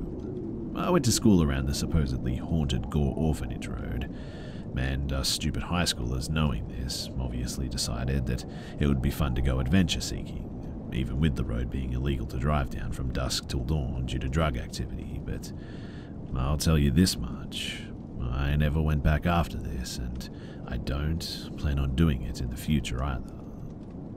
So, if you haven't heard of it, the legend goes like this there was an orphanage called Gore Orphanage in the Amherst, Ohio area where there was a fire and all of the children and caretaker were killed. I'm recalling all of this by memory as I actually happened to do a research paper on the place one year, but I'm sure I'm missing a few of the details. But one thing that became clear though was that during my research, the legend is complete BS. Now, it's a Friday night and somewhere during football season. I'm thinking it was October maybe, as me and a large group of friends decided to head into a nearby town to get a late night dinner. From there, we just kind of bullcrapped around school, this and that, etc. Before three of my friends, a guy and two girls, who I won't be naming, got onto the subject of Gore Orphanage. And stupidly, we all decided to go at around midnight. So we drove out to where the road starts. It goes downhill into a marsh like area where there's an actual gate that was supposed to be closed, didn't think anything of it at the time because I'd been down there a few times myself and it was never really closed, not even after dark. We make our way down this hill though, messing with each other in the car, trying to scare one another. My male friend is driving his car and I'm in the passenger seat, and both the females are in the back. The road, down by the marsh area, curves to the right, whereupon a little ways forward, there's a, a one vehicle bridge. I remember it too because of the copious amounts of graffiti on the metal and guardrails and a sign at the far end of the bridge. I can't remember for the life of me though what kind of sign it was. So, on the other side of the bridge is a little turnaround point. The road dead ends a little ways past this point, but on the right side of the road is where the trail starts. The trail to the supposed Gore Orphanage ruins. We briefly, and I mean briefly, discussed parking the car and going down the trail, but screw that, right? But instead of turning around there, we decided to go all the way to the end of the road to the actual turnaround. Here, the driver put the car in park, shut off the engine, and extinguished the headlights. It was all just stupid, harmless fun, us scaring the girls. We sat there for about five minutes before we decided that we'd had our fun and it was time to go home. The car comes back on, the light goes on, we put it into drive, and we were off back on the road. The thing seemed unchanged until we got close to where the trail started. On the left side of the car at the turnaround was a truck parked, engine off. I thought to myself, where the hell did that come from?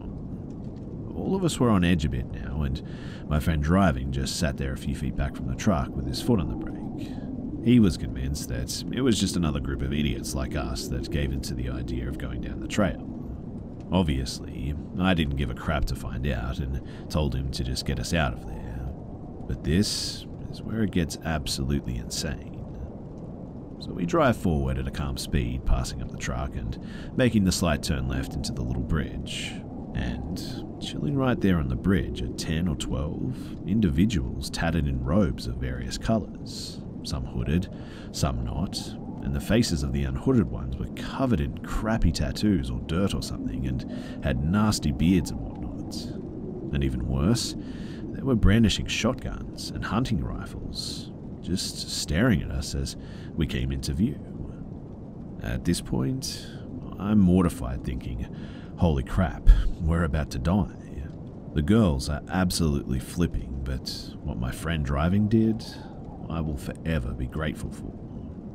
As stupid as we'd been up to this point, to even find ourselves in this situation that we were currently in, I'm glad that immediately upon catching sight of the Pope's hunting trip, he just gunned it, not even thinking about the possibility of hitting one of them. We sped past them and along the marshlands, now to the right of us, before flying up the hill back into the main road. None of us could believe what we had just seen. It honestly felt like I was in a Stephen King novel. We joked about it afterwards, surprisingly, probably just to try and lighten the mood since we almost died. And we thought that that was it. But no. So I get home about 15 minutes away after all of that. I know, pretty terrifying to know that you live so close. And for obvious reasons, I just can't sleep. So I stay up pretty much all night doing whatever it is that I did at that age. Played video games or watched TV maybe. But it's about 5:30 in the morning when my dad comes home from work. He's a state trooper and patrols the local area from time to time, but to this day I'm still a little confused as to why he asked me about this. As if he physically knew that I felt like being an idiot that night, but he asks me, Were you down by Gore Orphanage Road tonight? Thinking that he'd get pretty pissed at me if I said yes. I lied and said no. Why? He started taking his bulletproof vest off and his gun belt off before telling me yeah, we got a weird call about some satanic crap, like chanting and fire down in the woods from Mr. S. I asked him if he went down there, to which he replied that he did, with his cruiser shining a spotlight into the woods. And there was apparently nothing. Mr. S was the father of my friend in the driver's seat that night. I started to think that he told him what happened, but I later decided that this may not have been the case for two reasons. One, I don't know why he would have said anything to his dad about fire and satanic chanting. Didn't see any of that. And two, they live literally a five minute walk from that area, and he might have been able to see and hear these things, so maybe it was just a coincidence. Nonetheless, everything went on as normal from then on out for me and the two girls. However, my friend who lives nearby began to be stalked by people who kept showing up in his front lawn, staring at his house every couple of nights. They would always spray paint things on trees in the front yard too, but he never discussed it with me what they sprayed on the trees, so it beats me what it is. Thankfully, this stopped after about two or three weeks as law enforcement started hanging out more. And as curious as I still am about what they were doing down there, I think it's better that I just don't know. Whether they were worshipping Satan or sacrificing a goat or perhaps cooking crystal meth, I'm just glad that my friend's car interior didn't get a makeover consisting of pieces of my brain.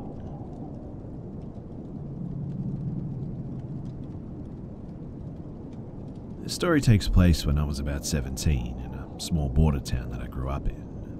I lived in a house on a very steep hill, and I took the bus every morning and after school to come home as well. The class started very early, and no other students lived on my small street. It must have been during the winter because I was pretty cold every morning, which isn't a usual thing where I lived.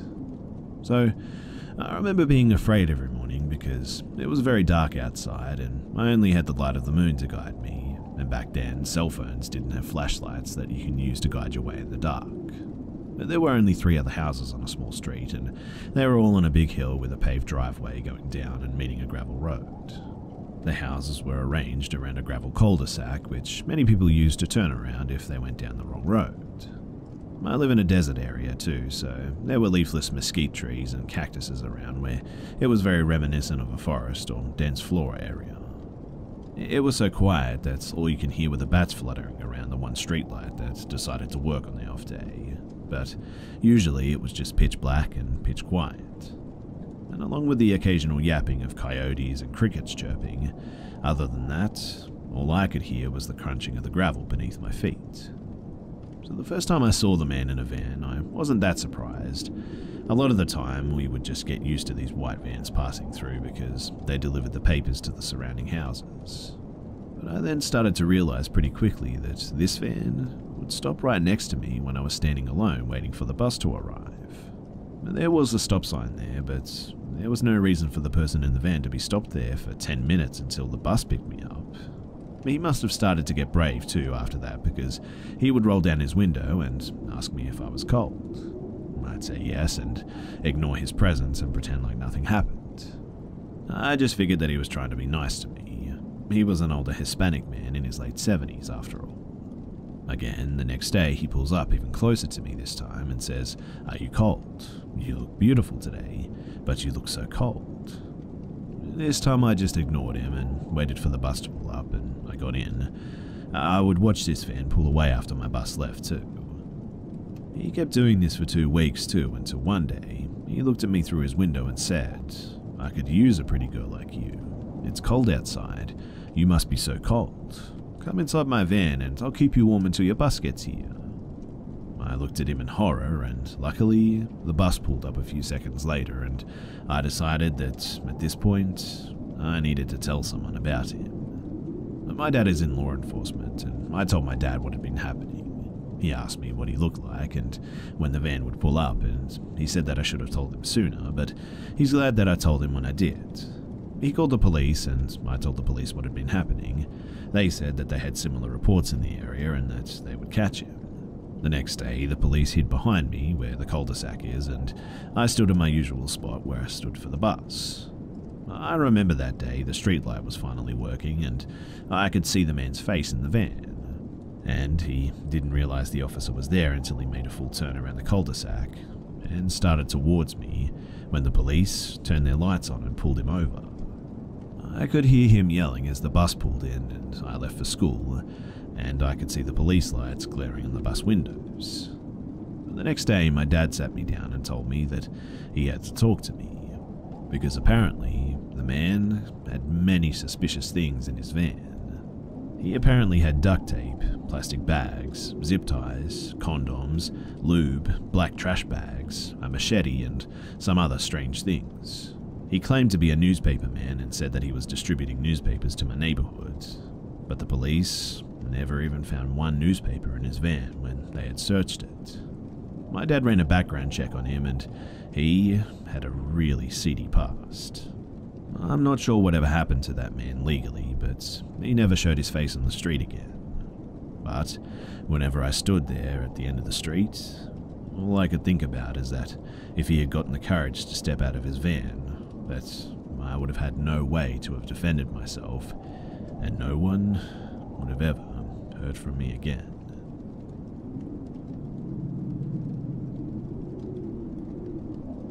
Two years ago, I moved out into rural Indiana with some of my best friends to share a pretty large apartment that was above my best buddy's dad's garage. Since most of my family is from that area, most of them have known about the house their whole life, and all of them pretty much unanimously agreed that it was haunted. Before my friend's dad moved in, the place had actually been a church, one wing was the actual chapel, and the other was living quarters. My mum said that multiple exorcisms had been done there, and she once watched the double doors to the living quarters fly open and something stomped down some stairs, all during an exorcism.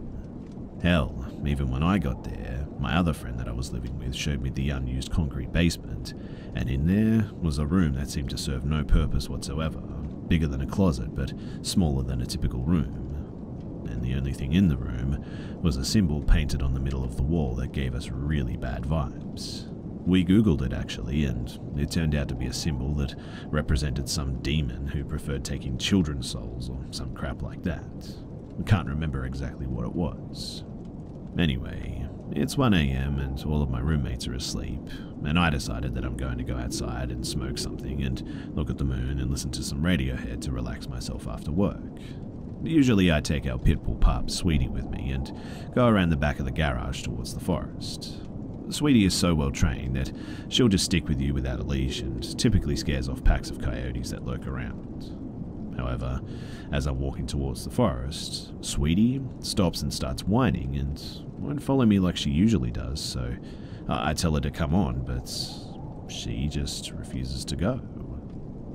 I take her back to the apartment and have her sit on my bed, and she's shaking at this point, but stupid me decided that it was okay and went back around to the garage outside and started walking towards the forest again.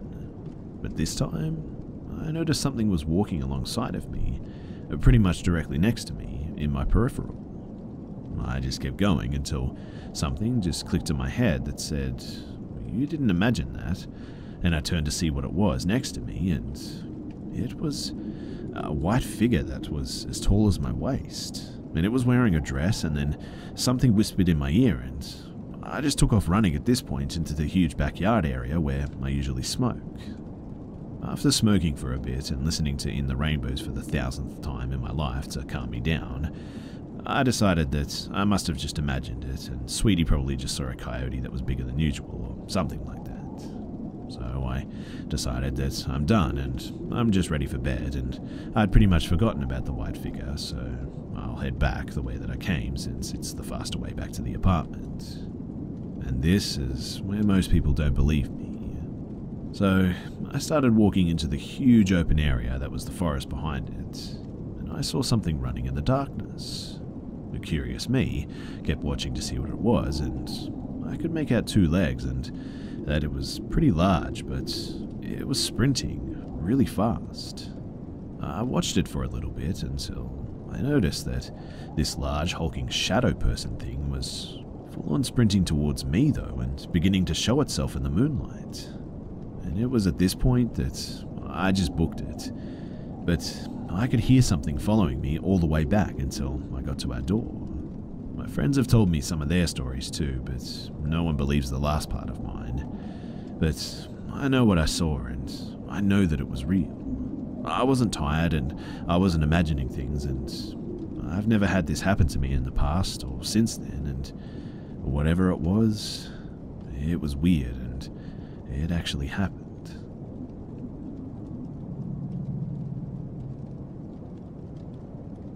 This happened when I was uh, probably about seven or eight.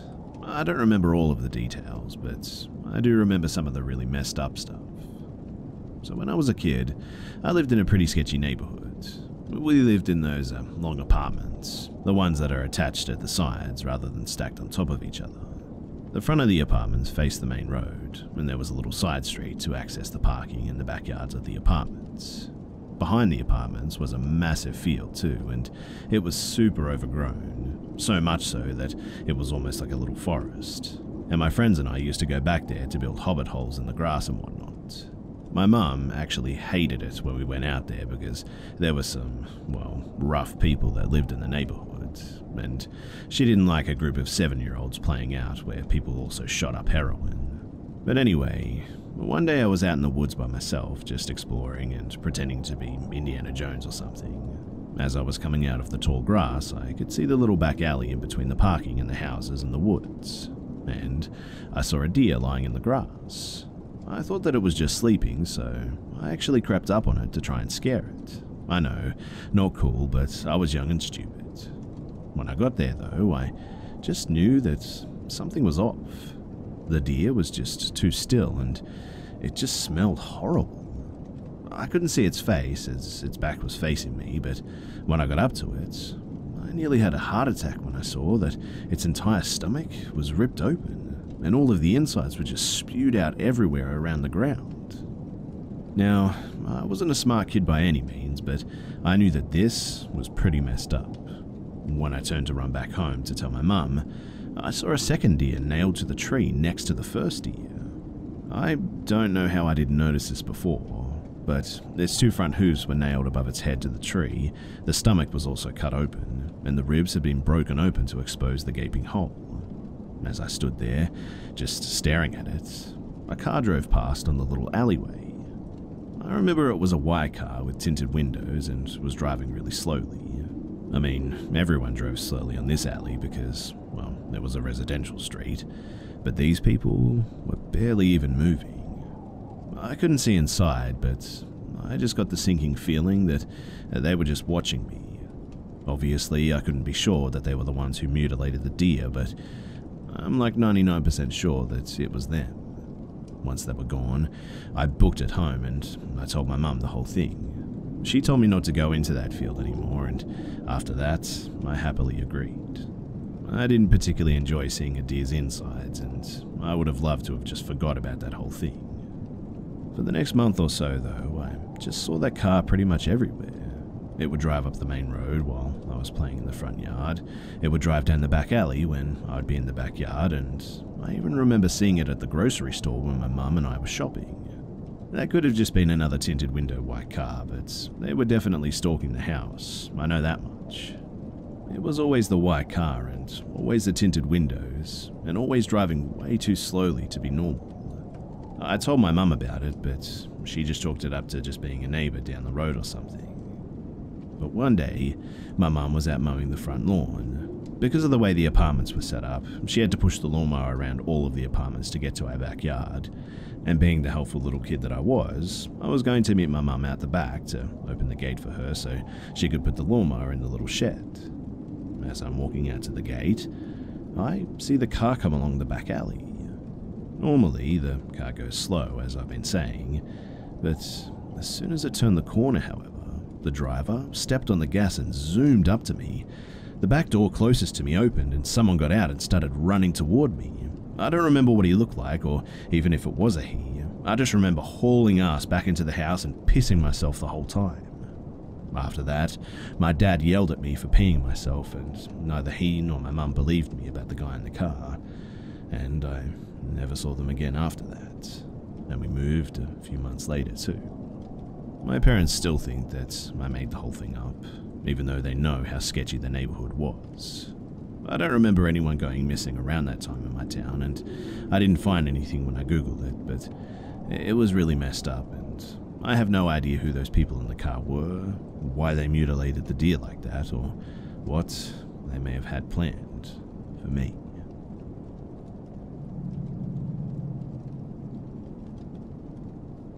I still kick myself for my stupidity during this event.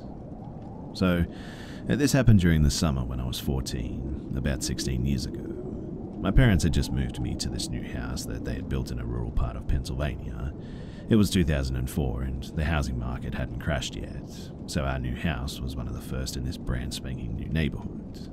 It was the kind of neighborhood that you drive through and go, yep, these people definitely have money.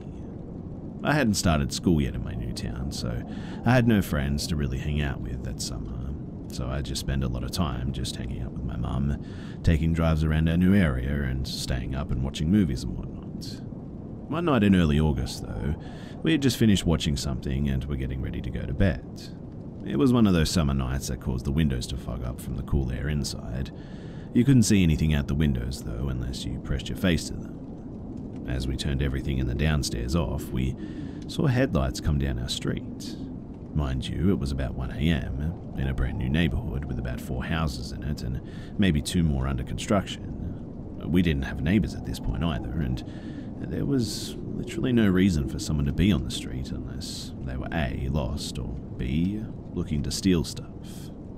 Well, we hope it's A and keep going about our business to get ready for bedtime. And then we see the reflection of another light outside of our house, and it wasn't car lights. Once again, uh, we can't see out of our fogged window, so me being a curious 14 year old, I walked right up to the front door and pressed my face to the window, and immediately fell right back to the floor. Because as soon as I looked out there, there was a face staring straight back at me. My mum asked me what was wrong, and I just started stammering. Then my adrenaline kicked in. I ran to the kitchen and opened the knife drawer. I pulled out a butcher knife and walked back to the front door. I'm still shaking from basically being nose to nose with a complete stranger, and my 14 year old brain thought that this was a great idea.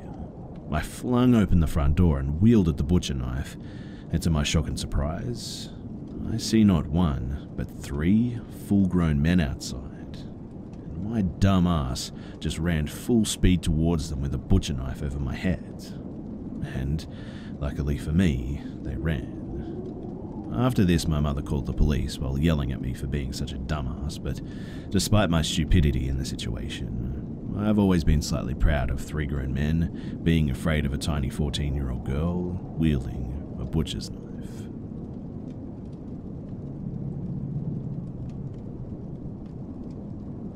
This took place back in 2007. I was 13 years old, and up until then, I hadn't really experienced anything paranormal.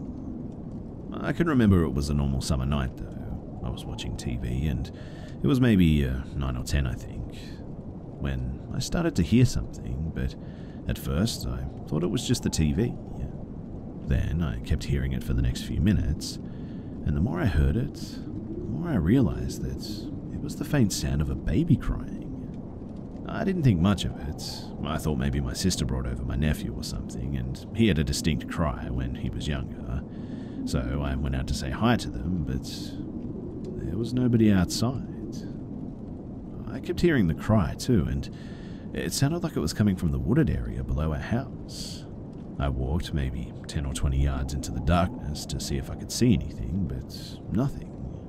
And chills immediately went up my spine, and I ran back into the house. We live out in the middle of nowhere, and the nearest neighbour was five miles away. And I told my dad about it the next morning, and he said that my granddad experienced the same thing.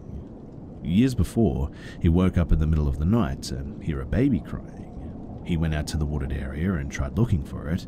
He spent 30 minutes wandering in the dark with a flashlight trying to find it, but nothing. To this day, I still have no idea what it was that I heard, and I refuse to go down to that wooded area even though we chopped down most of the trees.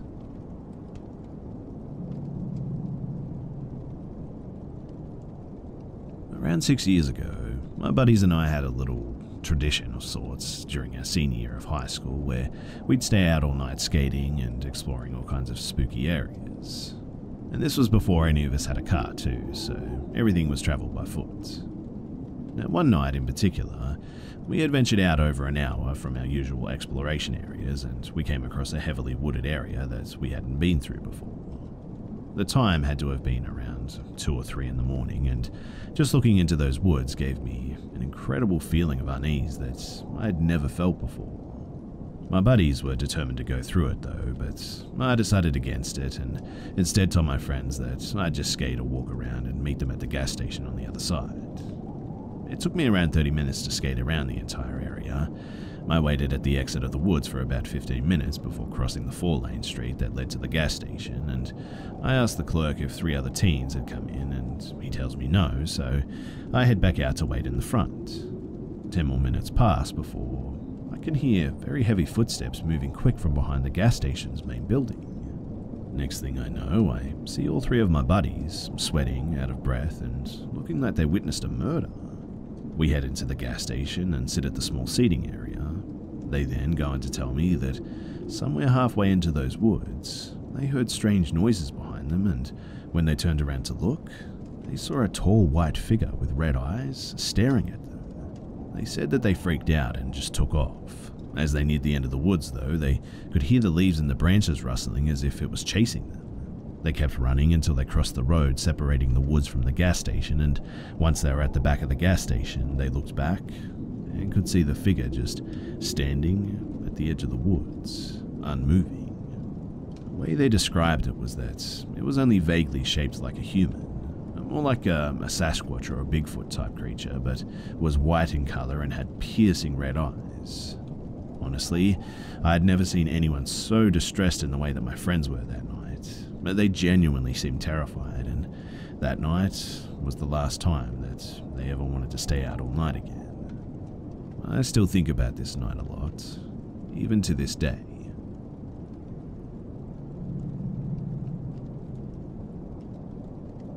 So when my parents were in college, they went on a trip down to Florida.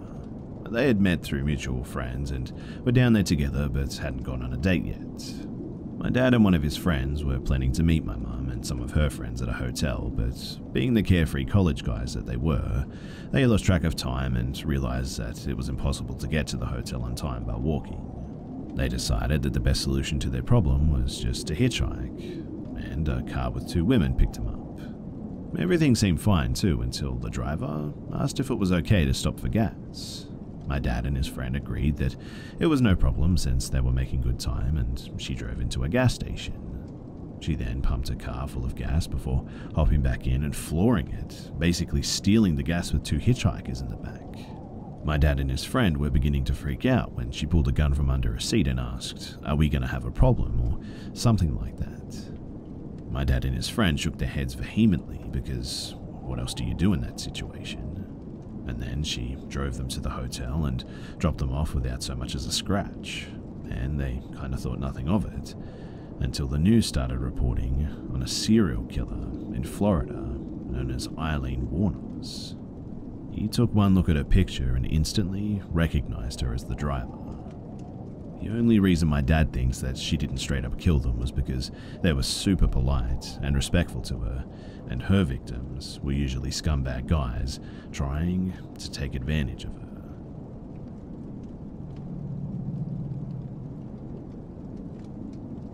Let me start by giving a little bit of background.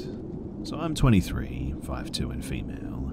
I'm by no means intimidating, even when I try. I work two days of night audit for a hotel in a heavily populated area of Houston, Texas, with zero security. And if you know anything about Houston, you know that it can never be good news. With all that being said, last Tuesday, I was alone playing stupid games online and listening to Ryan's Roses to pass the time.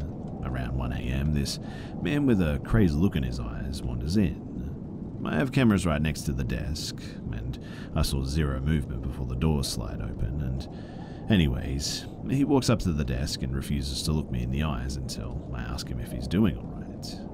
He snaps his head up, looks me right in the eyes and says, No, I am not alright at all. I'm kind of taken aback by this, so I apologize and ask if there's anything that I can do, etc. He declines and then asks if he can get a drink from the little shop next to the desk. I tell him, yeah, of course. Go ahead and get whatever you'd like. The prices are listed there on the wall. Before he walks away to get his drink, he makes sure to tell me, now don't worry, I have money. I would never steal from you like that. I didn't really say anything, just kind of smiled at him and nodded understandingly. And well, he wasn't lying. He for sure had money because he handed me two bloody dollar bills. So now, all the alarm bells are definitely ringing in my head. He starts apologizing though and asking if I'm mad at him and if he had upset me, and all of which I said, No, sir, I'm not even a little bit upset. I was getting boring in here anyways. I suddenly, though, became painfully aware of how empty the entire hotel was at that moment.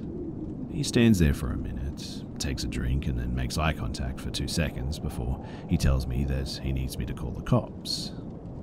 I start shaking, but somehow manage to not let off that I was absolutely terrified. I get the police dispatcher on the line and begin giving all of the information and our location. Then, from the background, he starts saying that he was almost hit by a car while walking in the middle of the road. The dispatch then asks to speak to him, so I hand the guy the phone and he starts looking around while describing himself. He then stops looking around and looks right into my eyes and says, Yeah, I'm going to end myself on the freeway. Now, I don't take that lightly, no matter who says it. An audible gasp left my lips, and it was like it woke something up in him because his eyes just lit up. He then hangs up the phone and like slams it down on the counter in front of my computer and just looks at me. I try to make small talk, asking what's going on and how he's really doing tonight, but nothing. He just avoids those questions and starts asking some questions about the hotel, like, What is your nightly rate tonight? He then goes from harmless questions to asking if I'm alone and when my manager will be back and if I lock all the doors around me. And now I'm definitely afraid. I pick up what he's putting down and I want no part in whatever he was planning if he managed to get me out from behind the desk. I switch gears on conversation and tell him that he is more than welcome to take a seat in one of the comfortable chairs in the lobby until the police arrive. He then thanks me and asks me again for like the 20th time if I'm mad at him. When he sits down, I get even more uneasy though because he starts looking around anxiously. You know that look someone gets whenever they're working up the nerve to do something, but they just haven't yet? Yeah, that's the look and the vibe that he was giving off at that moment. Around that time, my brain finally pieces together what is actually happening because another guest pulls up right in front of the lobby, and his face immediately drops any excitement, and in fact, he almost looks mad. In comes this woman and her son, who couldn't have been more than 12 years old. They came up, no reservations, so it was now a walk in, which takes a little longer since I have to put in all of her information instead of just checking in and moving along to the next and her son starts whispering something to her that neither of us can make out. So he says it louder, and then he says, Mum, didn't we just see him walking around at the hospital? My blood runs cold, and she tells her son to hush, and locks eyes with me, and I hand her paperwork to sign.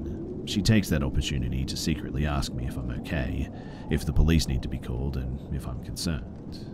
I tell her that yes, I'm terrified, and the cops are on their way. I can see him straining to hear what we're saying, so I stop and tell her about breakfast and all that good stuff, and she tells me that she'll not be leaving me alone, that she'll stay with me until the cops come because something just doesn't feel right. And God bless this woman. I'll never forget her face and her heart.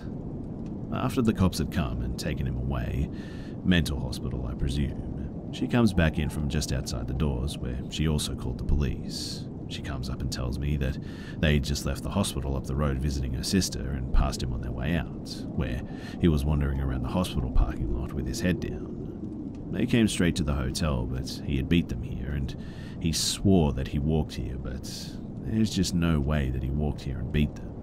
She said that she felt like something was off as soon as she walked in and saw him. She told me that he was likely trying to lure me out from behind the desk, making me feel bad for him, but whatever he was planning, I never want to find out.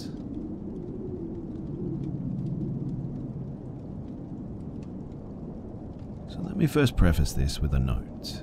This isn't being shared to be analysed or to have someone pop up and say it was demons or ghosts or otherwise. I do strongly suspect that it was ghosts, but being a skeptic in such things, I, I can't say 100% sure that that's exactly accurate. It may have been just my child mind interpreting things oddly, who knows? Also, the location that I describe does not exist anymore, having been destroyed in a highway widening project sometime between 1990 and 2000. So, when I was rather young, in second grade in fact, my family lived in the country, out in the middle of nowhere in Mississippi. There were no children for me to play with, and I tended to get a bit more lonely than you'd expect. When we were in the process of moving out there, parents had this double wide trailer. There was one incident that took many years to be certain that I hadn't imagined it. While on one of the expeditions to the plot where my family was going to put the trailer, my mother needed to make a stop to use the restroom. With no gas stations for a good 10 miles, Dad pulled the truck down this dirt road looking for a place to stop. And there, maybe 200 to 300 yards from the two lane road, we found what looked like to be an abandoned gymnasium from a school. Dad decided to use that place as the bathroom, and we headed in. I don't really recall much about the building, though one thing always stuck out in my mind. Near the doors where we entered through was this rather massive pile, or massive in my child mind anyway, of clothing. I remember too after doing his business that my father stood at the front of it, looking up at the clothing, and He seemed to be thinking of something, but he never said anything about it. Several weeks later, with the trailer in place, we moved out there and the gym was largely forgotten by me. However, that didn't stop weird things from happening. Well, not weird in the sense of stuff moving around or anything of that sort, but just weird sounds. But within a month or so of living there, I was playing on the front porch when I heard laughter. Now, before I go further though, let me clarify as to where we lived then. The trailer was a good hundred feet back from a dirt road, and across the road was the home of an elderly gentleman that I'll call O. Behind his house was a rather extensive stand of pine trees that reached down to the two lane highway, probably a distance of 500 to 600 feet total between where I was and the highway. But in any case, but in any case, as I sat on the front porch my father had built, playing with some of my toys, I just kept hearing laughter. Not one child's laughter either, but several. It sounded to my ears like five or six kids were playing somewhere, if I had to guess, off behind where I lived. Not having anyone to play with, too, I remember wondering where these kids were, and if they'd play with me. Up the road, I could tell that the kids seemed to be playing in the woods, as their laughter came and went, and after a moment I called out to them that I wanted to play too. And as soon as I said that, the laughter just cut off. It was just a dead silence. For one moment there was laughing and fun, and the next it was so quiet that you could hear a pin drop. I decided that I'd just scared the kids off, and I just went back inside at this point. This happened several times too, and eventually I just gave up. I'd hear the kids laughing and playing, but they never seemed to get closer, and after a couple of times of this, I remember telling my mother, and she got this really odd look on her face before telling me that she didn't want me playing out front any longer. We lived there for another year or two before we moved, and I largely forgot about the experience if I'm being honest. It wasn't until many years later when the story came up again in conversation with parents. That's when I found some of the story out too, and personal investigation told me the rest. So my mother said that the reason she reacted that way was because she'd heard a rumor that the area that we moved to was actually haunted. She didn't have all the details, but felt that it was tied to the old gym, and all she could say, or would say, was the quote, something bad had happened and she was afraid. After my parents passed away, I kind of forgot the story again, and it always stuck in the back of my head as just something weird, but that was it. Eventually, though, one bored night, I happened to stumble across the website for the church that we had attended. On a lark, I shot an email off to the pastor asking if there had been a gym near where I remembered. I didn't expect to hear back. But two months later, I checked my email to find that yes, he had actually replied. And here is what he related to me. There had been a gym that once stood near where I described, though it had long since been torn down. The gym had been a part of a private school which had stood there from roughly 1900 to about 1979 or 80, and in the early spring of that year, a tornado had gone through and demolished most of the wing of the school, and in doing so, killing a number of students. The building had collapsed, burying the students under the rubble, resulting in the death of a number of them, and I think between 10 and 15 students or something. And after this, it was decided to close the school. As they were demolishing it too, they cleaned out clothing from lockers and various places, dumping it in the gym in the tall pile that I remember seeing. The gym had been left standing because it was hoped that one of the local churches might use it, but given what had happened there, well, it just ended up being left abandoned. Curiously, though, the property behind O's house had also been a part of the school's property at one time, being used by the students as a kind of playground area. This did explain why O kept digging up old toys, mostly metal trucks and such, which he gave to me. Looking back, though, I've come to the conclusion that what I had been hearing was in some way tied to the old school and the loss of life there. Though I also wonder if in some way it was just my childhood imagination running wild or something like that. That's probably one of the problems that I have with this story too. For all I know, my parents could have mentioned what happened at the school at some point and I just overheard it. And in my lonely state, my mind and imagination may have just run wild. Whatever the case though, I thought that you'd find the story interesting, to say the least.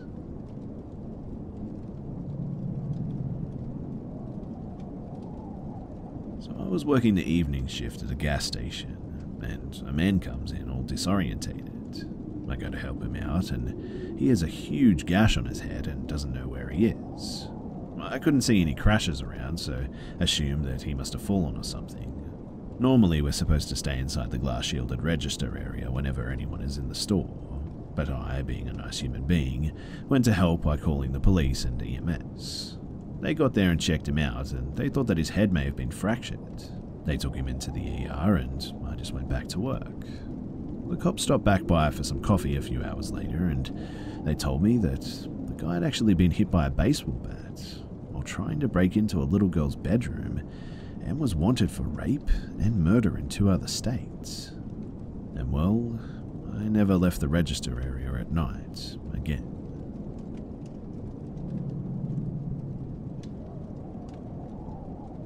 Last night, from Wednesday to Thursday, I was home alone because, well, my girlfriend sleeps at her home every Wednesday. And because she doesn't like smoking, I usually smoke on Wednesday nights and Thursday mornings when she isn't with me. I wait for the night so I can go to the garden of my grandma and just smoke without being seen. It's the kind of garden where about 14 people have their own area. I hope you get what I'm talking about. The garden of my grandma is one of the least, completely in the back.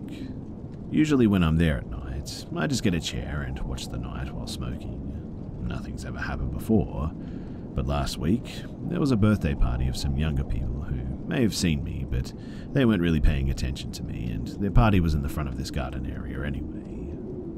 But last night was very different.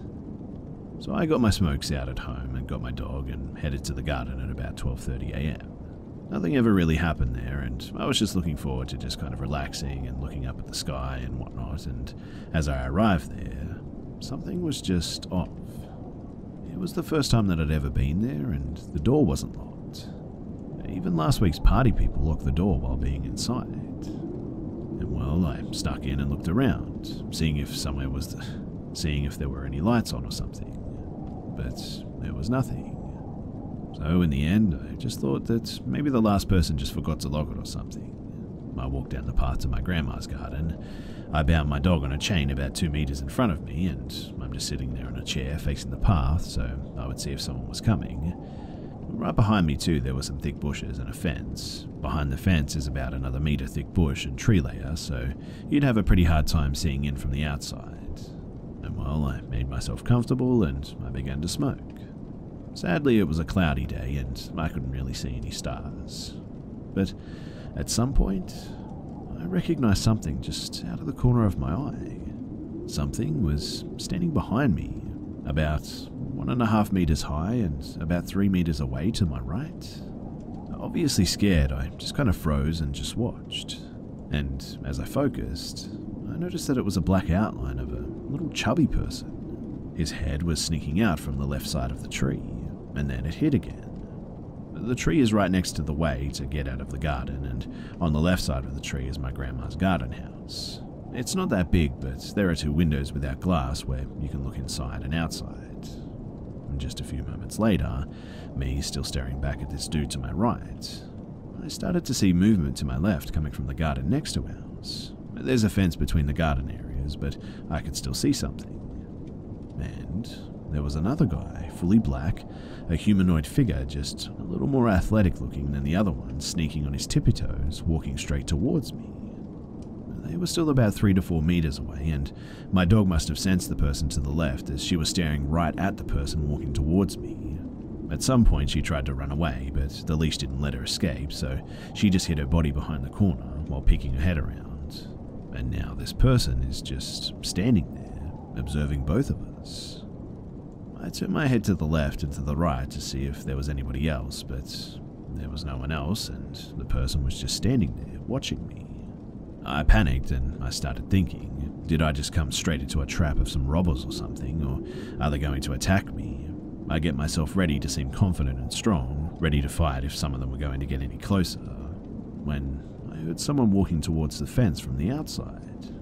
As I turned my head to see what was making the noise behind me, I started to see what was going on. I had just been encircled by some sort of void black persons, all watching me from around two to three meters distance. Someone was standing outside on the other side of the fence, someone to my left and also to my right, diagonally. In every direction, someone was watching me, and then I noticed that there were more, and some of them were trying to hide behind bushes, some just standing in plain sight. I tried to shout, You know I can see you, what do you want? But uh, I just wasn't as loud as I wanted to be, and for some reason I just felt weak. There was no reaction from any of them either. Some were moving a bit, even trying to hide better behind their covers, but none of them really were good in hiding. There must have been about eight of them, and I tried to stay calm and just keep sitting in my chair, my dog in front of me just sitting there staring at the second guy, when another person appeared behind the guy from the tree, laid on the floor, and slowly crawled on the floor further to my right. His crawling looked just ridiculous too, and I made a hand gesture to the other people like, Are you kidding me? I mean, his crawling was neither stealthy or necessary. And well, sitting there now for about 15 to 20 minutes frozen, just staring back at them. The first person that just appeared just started walking towards me. Me still thinking real humans were behind this whole scenario, I had to rethink. As it was coming closer to me, the black colour of his body, though, just vanished and it was like a 2D transparent humanoid like figure. And when I really tried to see them, I could only see the outlines, and even though the person was transparent when looking through the body, it was like looking through fluid or something. I couldn't really see it anymore, just see that it must have stood right in front of me. Every other person still just kept their position, me just questioning my own sanity, I just ran to my dog and I brought her to my chair. Still being watched by all these figures, I now could also see that someone was standing in the garden house peeking through the window. And I took some deep breaths as I was trying to understand the situation in which I just got myself into. When out of nowhere, something, its body looked kind of like something out of Star Wars, was walking the garden path. It came from the left, the end of the garden, to the right, the garden area entrance, and just before it was going to walk behind the house, it turned itself towards me. It looked like it was holding a laser pointer in its hand or something, sending out orange light but bigger than a centimeter, pointing straight in my face. But it didn't really blind me, and suddenly, and I can tell you that this was definitely the most scary part. Three red glowing lights appeared from the head of this thing, and it kind of looked like a helmet. I can tell you that I honestly thought that I was about to be shot at this moment. But to my surprise, nothing happened. Just silence again and everything just observing me. I really tried to see this thing that was giving off this red light, but it was like the red light was pointing towards me, not letting me see its characteristics.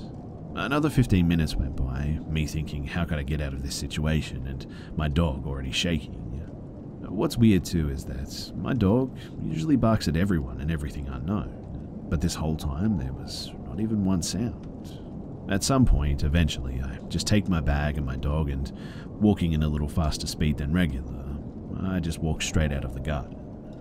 As I was standing up from the chair, the red light disappeared and the person behind the tree to my right just ran away. As I was leaving the garden, I looked around to see if someone was nearby as I headed to the entrance of the garden area, but there was nothing. And gladly, nothing was following me, and eventually, I got home safe.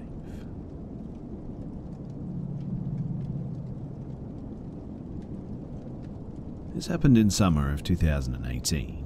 I just finalised a divorce and moved back to my hometown. My parents let me stay at their place until I found my own, and I just started a high paying job, but I was in so much debt from the divorce that I wasn't ready to pay for a place of my own. I didn't want to mooch off my parents, so I decided to find a roommate for the interim. I found a sweet woman, Raquel, about 15 years older than me, who wanted someone to move in for only three to four months with her, and this was perfect for me since I was still paying off my debt. Everything about Raquel was such a delight, too. She was sweet, very clean, cared about the environment, volunteered, and would actually cook me food just because. I honestly thought that I had hit the jackpot with her. However, there were a few things about Raquel that were just a little bit off. One, she wouldn't tell me what she did for a living. She said that it was confidential. and whatever her job is, caused her to be gone for days and sometimes weeks at a time, even. I thought that maybe she worked for the government because she had a framed photo of her with Bush Jr. in the Oval Office. When I asked her about it, she said that was my last day before leaving the Secret Service. Even though this was odd, I must admit that I was very impressed. But she also had a very strict rule. Every door in the house, including my room, had to be open at all times if it wasn't being occupied. However, this rule didn't apply to her room, her door was to remain closed at all times, whether she was there or not, and obviously, I was never allowed to go in. Which was strange, but not too concerning, right? And she also claimed to be Wiccan. I don't know much about the practice, but she was apparently really into it. She was constantly going to a nearby store and buying all the books and garnishes and whatnot. But besides these few things, she was a very normal person. And a month went by without any concern. I should quickly mention too that she had two cats. They would mostly stay in her room, but when they wanted out, they would hit the door with their paws.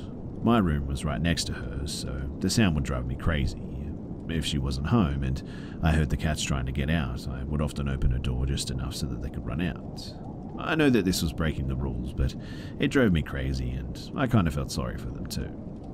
But everything got too weird one night when she was out of town for work. It was the first night of her being gone, and I was sitting in my room just watching TV when I started to hear what sounded like the cats hitting the door trying to get out. I thought, great, she forgot to let the cats out before leaving again. I opened my door to go and let them out of her room when something made me stop dead in my tracks. The cats were just chilling in the hallway. They weren't in the room, but I know that I heard something. Already creeped out, I decided to open a door and peek inside. And what I saw were four people, naked, holding hands in a circle with their heads bowed as if they were praying. And well, needless to say, I noped the heck out of there and headed to my parents. I tried calling Raquel, but I just couldn't get a hold of her and right when I was about to call the police, she finally called. And man, she was livid. She said that I had broken her only rule and she wanted me out immediately, which was fine by me at this point. But the eerie part was when I got my bed and dresser back, there was a weird symbol carved in the wood that wasn't there before. The only way I can describe it is like a, a plus sign, but instead of straight lines, they were kind of curved. Like, someone cut an oval in half down the middle and then tried to make a plus sign out of it. I'm really not sure what it was supposed to mean, but to be honest, I don't think that I want to know.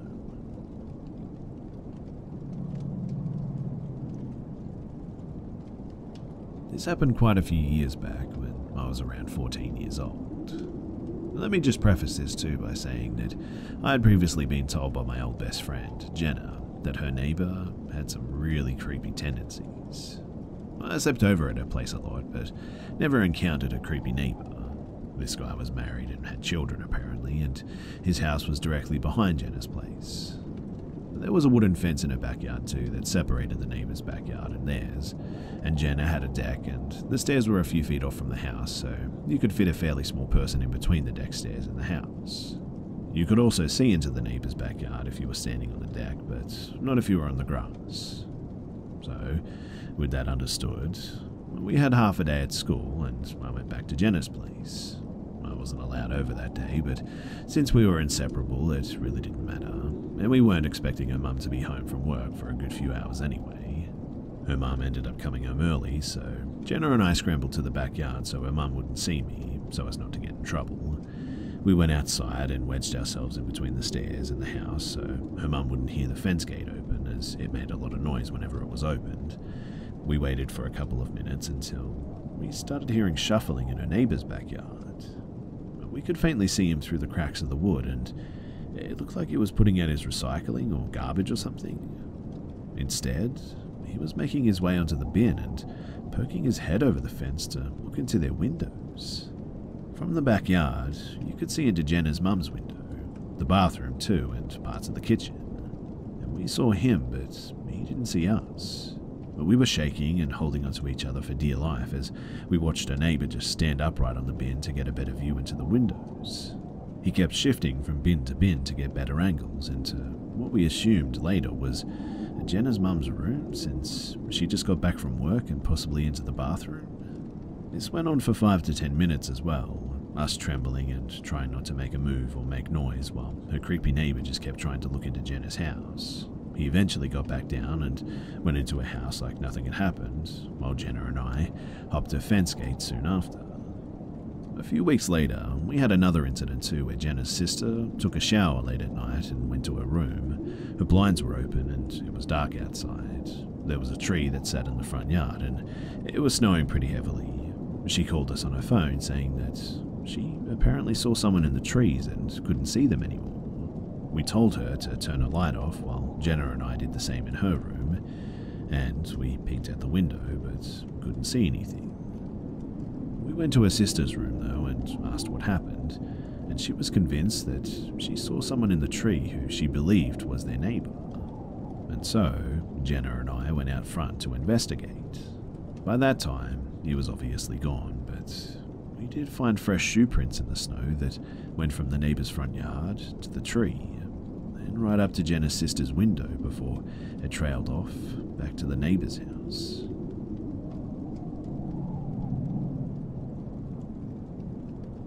Technically, this isn't my story, it's my mum's, but I'm slightly involved, so I'd like to share it. This happened when I was around three or possibly four, since it was in the summer. My parents and I had just moved into a new house in a safer neighbourhood in order to raise me. And basically, they were looking for new 60s themed furniture for our house, so my mother took to Craigslist to try and find some. She eventually reached out to a man selling an older couch. She had just taken me out of preschool before going to his house, so I was in the car with her. My mother is generally a very intelligent woman, although I'll admit being a first time mother, this wasn't the best idea. But she had left me in the car because she didn't think it would take so long. He was standing outside of the house and, according to her, seemed like a completely average man, probably in his late 40s. He claimed the couch was in the basement and that they would have to go down there. Apparently, the couch was completely different than the one placed in the ad, so she turned around to ask him about it. And he was sweating out of his mind and apparently just started asking her a bunch of really creepy questions along the lines of Are you a virgin? How old are you? And are you married? My mother left pretty quickly after that and claims that he even chased after her down the driveway. She drove off as quickly as possible and to this day says that she thought that he was going to hit her over the head or something and sell her or something along those lines.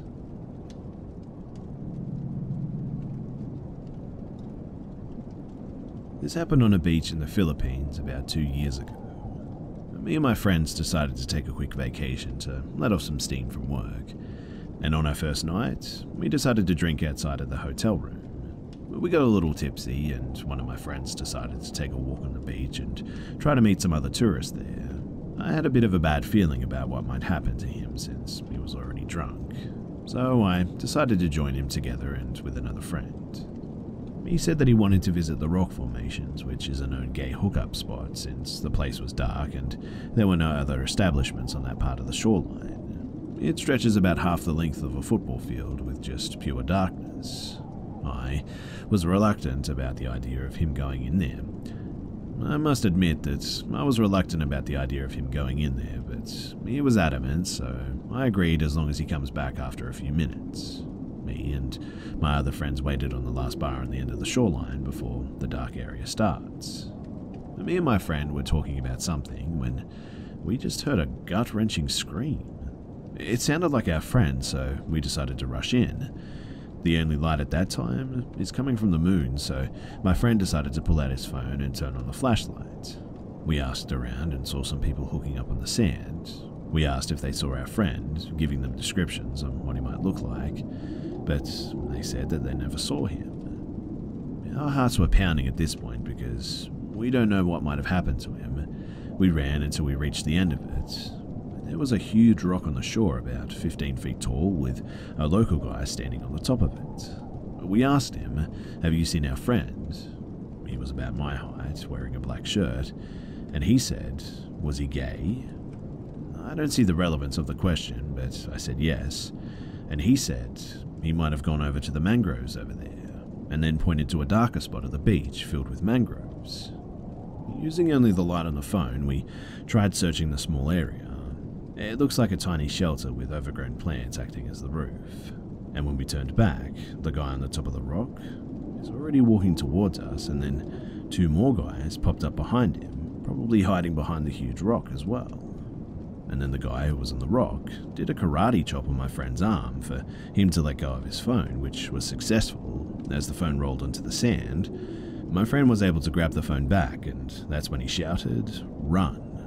I was confused with what was going on, so I just started running after he said run without actually knowing what we were running from. And that was when it hit me that the whole thing was an ambush, that we were led into the mangroves for them to steal my friend's phone. I was running for a few seconds when I start feeling the weight on my feet. The sandals that I was wearing got really heavy because I wasn't aware that I was running on wet sand. My friend took off his flip flops for him to run faster. I wanted to do the same, but then I realized my sandals were strap on, so I just continued running. I can hear the guys chasing us saying, Stop, we're just joking. I don't want to fall for what they said, so I continued running, and my legs are starting to feel numb since I'm not really an athletic person. And there came a point where I wanted to just stop since I don't have anything valuable with me, but then I thought that that could be a reason for them to harm me, so I just ran with all my might until we reached the first bar eventually. My friend was already there catching his breath when we saw the friend that we were looking for, laughing and talking to locals. Uh, we wanted to punch him for what he put us through, but he had no idea what had just happened, so we just let it go. Our vacation still went through, and we still got to go to the island from time to time, but we vowed to never go on that side of the beach ever again.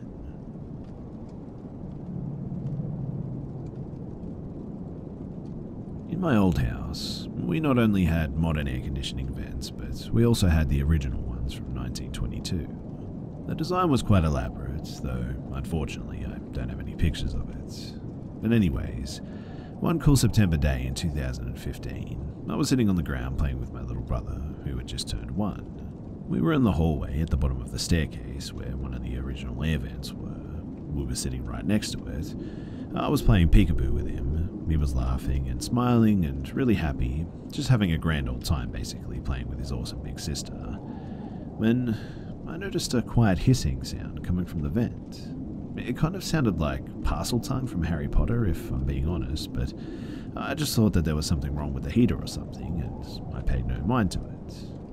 About five minutes after I had noticed the sound, it just suddenly stopped.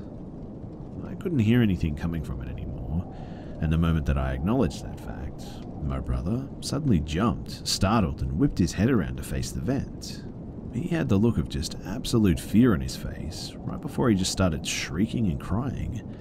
I mean, it honestly sounded like someone had hit this kid, he was crying so hard.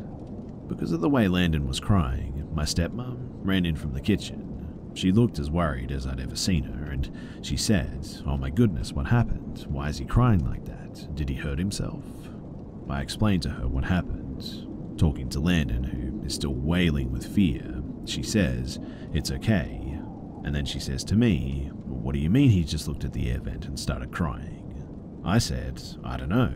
I don't know what he heard, but obviously whatever it was terrified him. She looked at me with honest confusion. She picked up my brother, still coddling him and swaying him as he cried and walking him outside, and he was fine after a minute or two, but he would never go near that vent without someone with him. Even in, even in 2017, after he turned three, he would still ask for people to walk with him past that vent. I never heard anything from that specific vent, though I did hear the same hissing throughout the house when I was home alone or with one of my siblings. But anyway, I hope you enjoyed this little short story, and thanks for listening.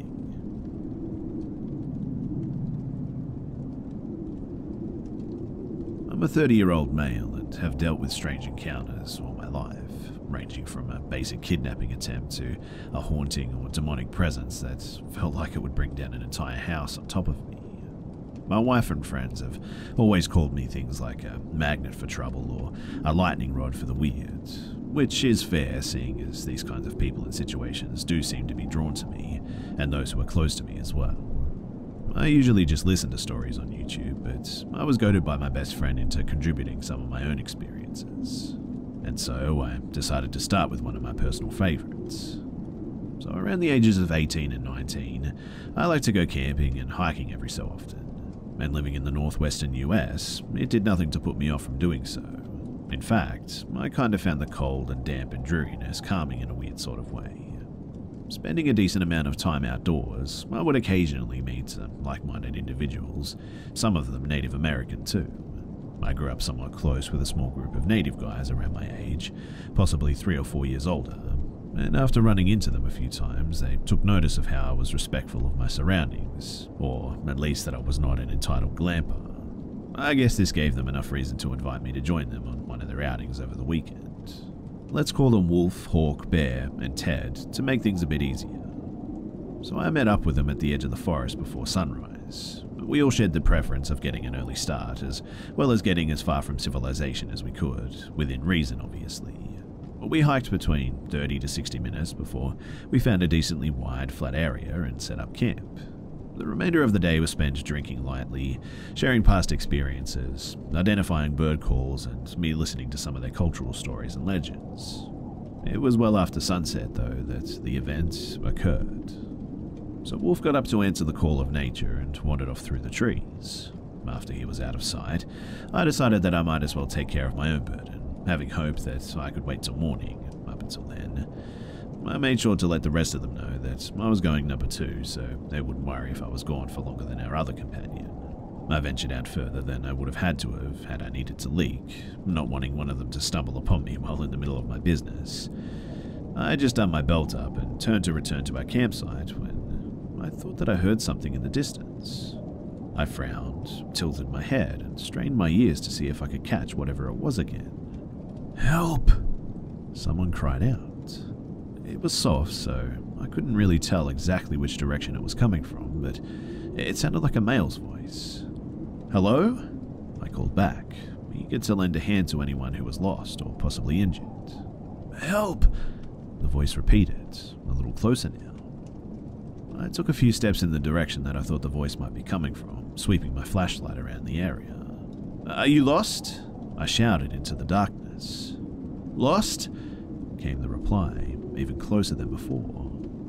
I found it a little strange that they responded with one word, but maybe I'd missed the rest, or maybe they didn't know English very well. Either way, that was enough for me to take a few more quick, determined steps towards the voice, but I was stopped dead in my tracks by the next thing that I heard. It said, I'm lost, in a really shrieking voice, drawing out the word in what sounded like a human yelling mixed with the high pitched scream of a deer or some sort of elk.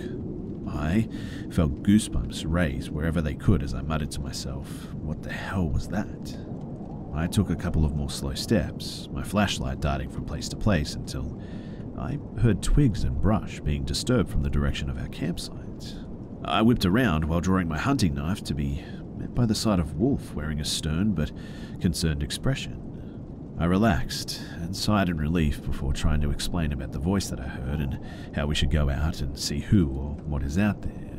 He just grabbed my upper arm and stoically began dragging me back through the trees.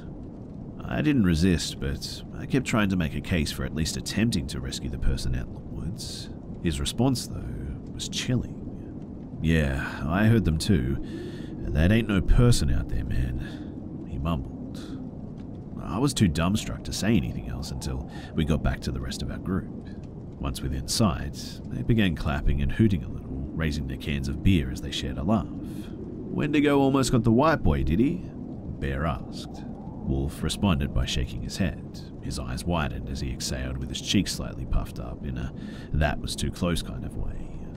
At this point, I'm sure it was one of their friends just helping them play a prank on me, so I called them out on it. They laughed a little more, and Hawk said, Look around, man. We're all here.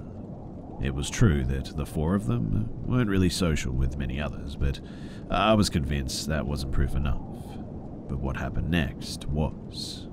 We had been talking about this for nearly half an hour, I'd say, before they just all froze, then sprung into action, dismantling and packing up camp faster than I'd ever seen, almost as if it were a sport and they were its star athletes.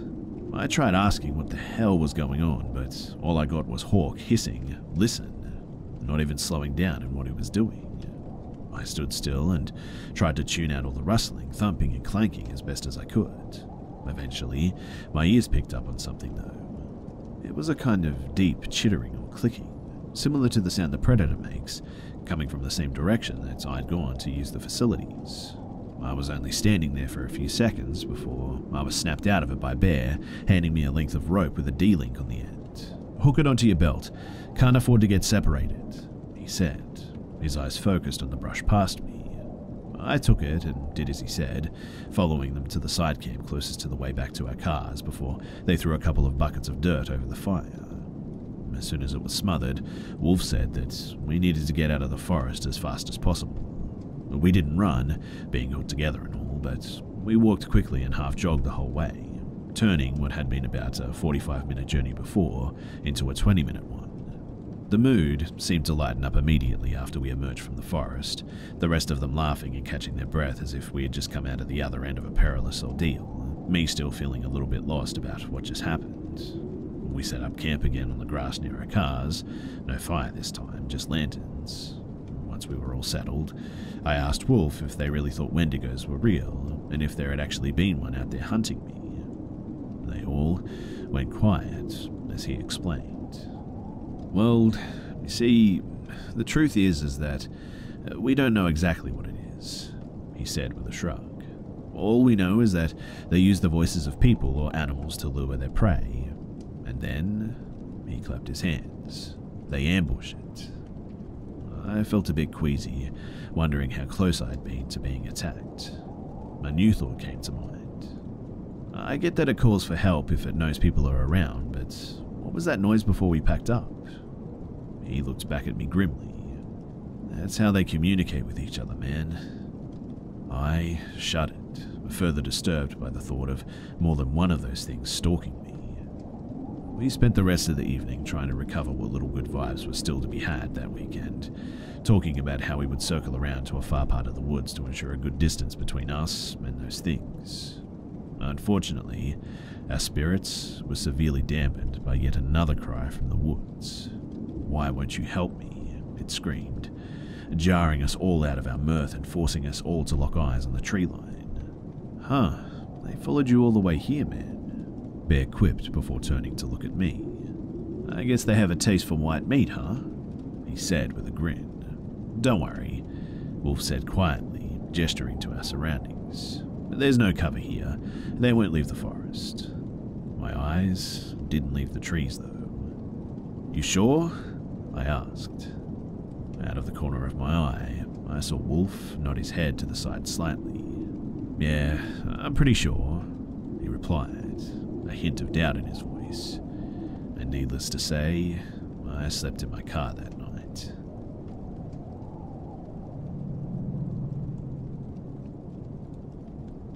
This happened the week before I went into my freshman year, so it was just a few years ago.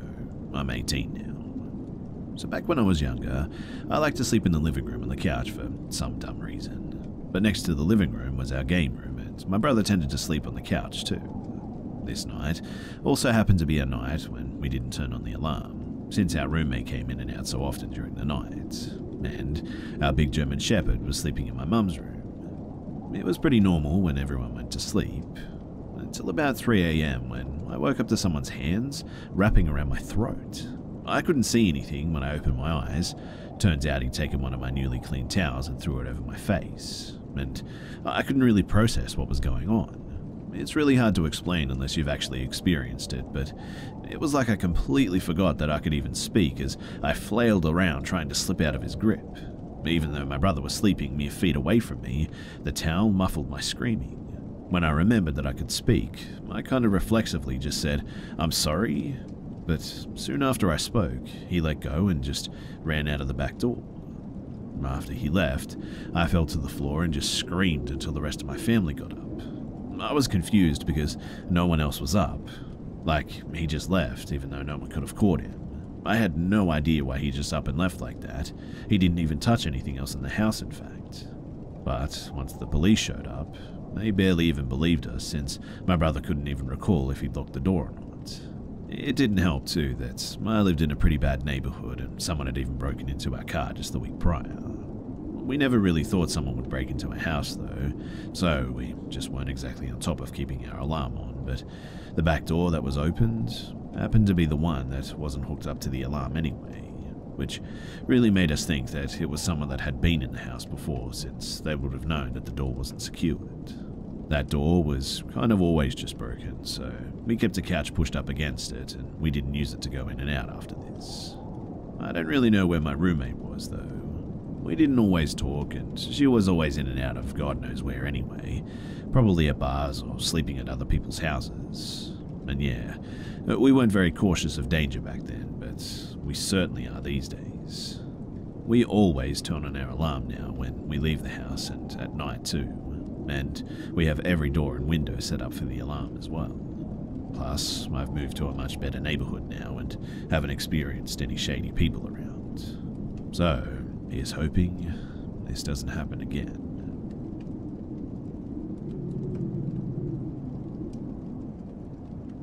I'm Native American Indian, and I have strong beliefs in the Creator and our medicine, which can also be used for ill intentions.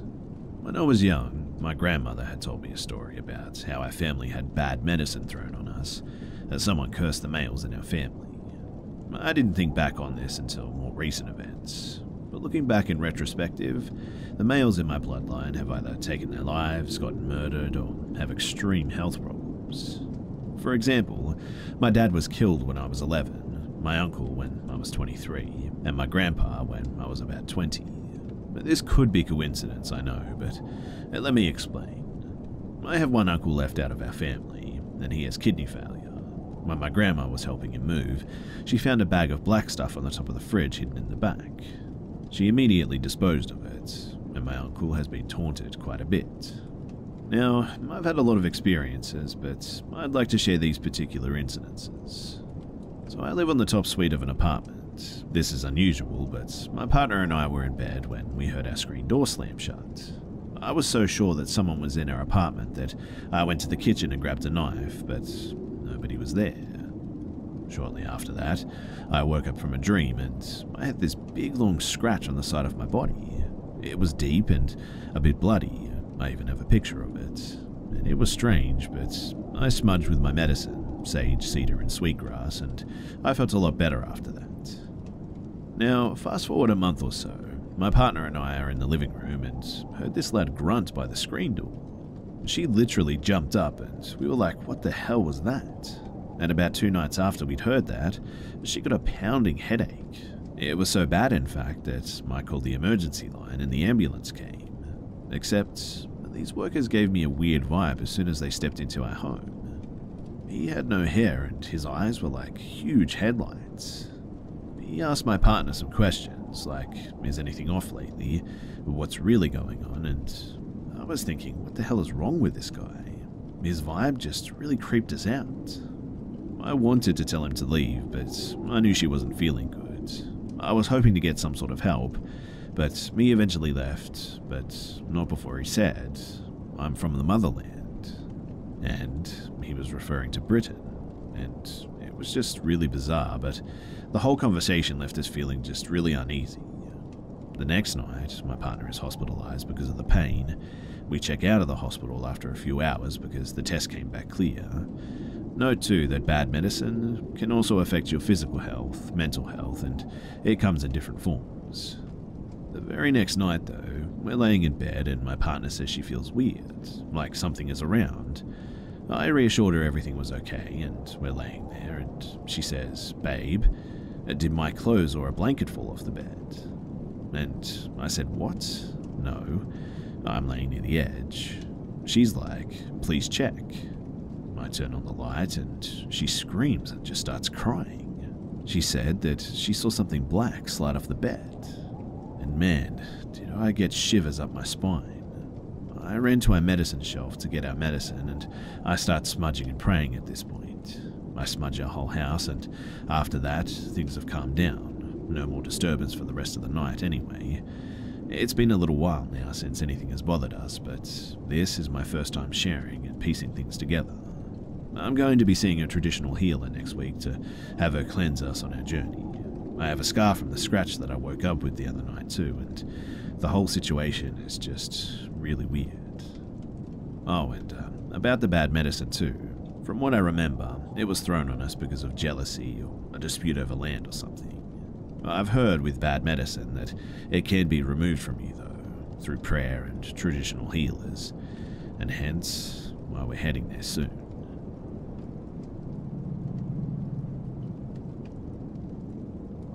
This happened a few years back, but it's still one of the oddest experiences that I've ever had. I still think about it from time to time, and it's pretty chilling. So, I was living in a house with four of my best friends. The house is laid out so that when you enter the front door, you walk down a short hallway that faces the communal bathroom, where the hallway tees off to the kitchen or living room on the left and all the bedrooms to the right. Each stretch of the hall from the bathroom to the next room is roughly about 8 to 10 feet, I'd say. I just got off work too and came in through the front door, and as I walked down the initial hallway, saw my roommate, Jeff, standing at the sink and staring into the mirror. Thinking nothing of it, I said, Hey Jeff, as I rounded the corner to the right to head to my room. After a beat or so and a few steps more, I hear, Huh? Oh, hey dude. And I turned to see him, and the odd thing was, Jeff was poking his head around the corner that led into the kitchen. Was puzzled because uh, there was no way in those few steps that I had taken with my back to the bathroom that Jeff could have made it down the hall and around the corner, unless he had literally ran full speed down there. I looked back at the bathroom and to him and asked, Were you just in the bathroom? And he said, No. As I let it sink in a bit, more in my confusion, I realized how odd the expression Jeff had in the bathroom. Just blank and really eerie. To this day, I have no explanation for what happened. To further the discussion and the eeriness, too, Jeff and I later had somewhat of a falling out. He seemed to almost become a different person, in fact, changing from a polite, kind person to a very angry and bitter one. At the time, we thought that some distasteful people at his job were beginning to influence his lifestyle and behaviour, him being a pretty impressionable follower. But now, wonder if this phenomena didn't have some kind of an effect. Anyone have any thoughts or know more about doppelgangers? I sure would appreciate some insight. Thanks.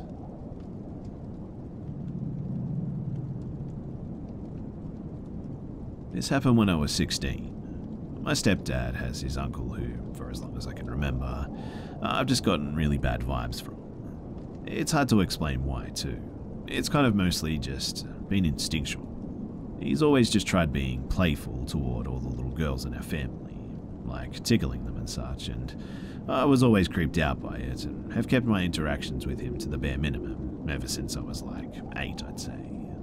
Anyway, one day during the summer, I was sitting at my kitchen table with two other girlfriends, and Mr. Creepy Uncle just walks right into my house. It wasn't abnormal for people to come and go as they pleased at my house during that time, but he was not someone who had ever just swung by and walked in before. He looks at my friends and me and asks, Are your parents home? And I say no. Then he asks if we want some candy, and I say nothing, but one of my friends, sweet summer child, says, I mean, yeah, I'd love some candy. He says, Okay, but you have to come into my van to get it. Both me and my other friend basically say, Hell no. And then he's like, are you sure? It's really good candy. He obviously refused, and after more probing, he basically is just like, okay, your loss. I told my mum, and at the time she didn't have a huge deal about it. Probably because he's an idiot for thinking he could lure three 16 year old girls into his van with candy. But she is someone who has admitted to getting bad vibes from him too. now that I'm an adult and have talked to her more about it, She's told me that that's basically the consensus in our family, too. All of the women are creeped out by him, and absolutely no one trusts him alone with their kids. She's also told me that he definitely has a record and has spent time in prison, but no one in the family will talk about why. I think maybe they're trying to protect him because he's just a lonely old bachelor and they figure that he's harmless. But what would he have done if we'd gotten in that van that day? I do not to find out.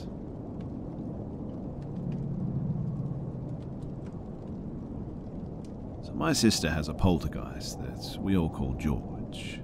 It's questionable if he's actually a poltergeist or just a spirit or something else, who knows, but he's been around for at least 10 years now. Anyway, here's the stuff that you'll actually care about.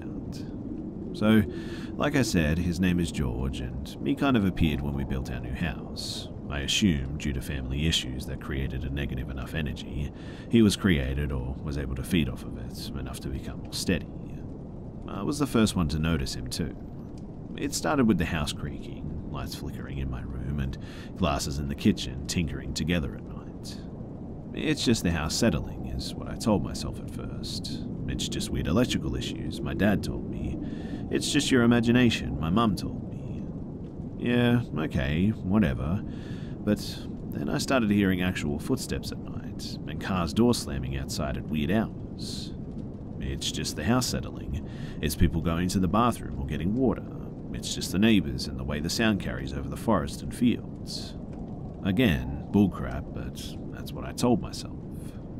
A few other experiences happened, not surrounding George, and slowly over time, more of my family started believing me. In fact, it kind of became a bit of a joke of sorts. Like, hey, where's my tape measure? I left it on the bar. George probably took it. And so, whenever we lost something and found it in a weird place, it was George. But there was one time that he took a biscuit, which I guess could have been a child, but it's more fun to blame the ghost, so, like I said, it became a running joke. But then, it started getting more violent. For instance, if Dad was in a pissy mood, something would usually come flying at his head. Some of the more notable occurrences happened in the kitchen too, when we would be cooking. Pots and pans and cookie sheets have all come out of their assigned areas and smacked him in the head. Which obviously makes him more angry, but he usually leaves the house for a bit when that happens. We always blame George, but he just blames whoever put the dishes up there for not putting them up correctly. Doors started slamming, it's just the air conditioner was the excuse, and furniture started moving around, just the dogs pushing stuff when they're not home, and glasses started shattering just for no reason, just chip thin glass, it happens. And while the parents brush it off as just normal occurrences and don't really think George is real, the kids, they know. And then came the big thing. So all the kids were in bed, but their closet light was on we were all arguing on who was going to go and turn it off because nobody wanted to get up. And then we see a pale arm come out of the closet and flick the light switch off. Needless to say, we didn't sleep that night. For the longest time, I thought that he was attached to me because stuff always happened around me and I saw it the most. But after I moved out, I guess he attached himself to my little sister or something. So things have happened at both parents' houses, like the stuff I described. And some mild stuff at my mum's house too. House creaks, knocking, doorknobs rattling, windows banging, glasses breaking, weird electrical things and objects getting moved around. Always my sister's things too, and never my mum's, which is weird. My mum actually refuses to believe George is real, despite being present for many of the occurrences too. Over the years, George has become kind of a part of my sister's daily routine, in fact. She communicates with him pretty regularly, usually by knocks on the wall. She leaves some food on her plate when she gets done to kind of offer it to him. She has a small area in her room that she leaves open and clean for him. When he gets loud at night, she tells him to be quiet, and he listens. In fact, she rather enjoys his company most of the time. She says that she doesn't feel so alone. Now, I have no idea why we started calling him George, but that's just what he's always been to us. The pets that we have don't really react to him. They seem to be pretty chill with him. And yes, we've definitely had other experiences too, but uh, we know George's patterns and the way he feels when he's doing things. Interestingly, too, he only ever gets violent around people who are angry individuals, and seems to be more calm when around calmer individuals, and my sister.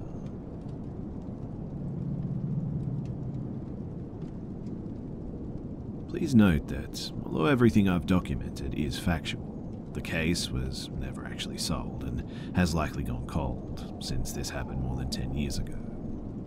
So, back in 2007, I found myself working as a bartender at a now closed pub in my hometown. Not a job I particularly liked, but it paid the bills. At this time, they hired a new kitchen manager, and his name was Kearney.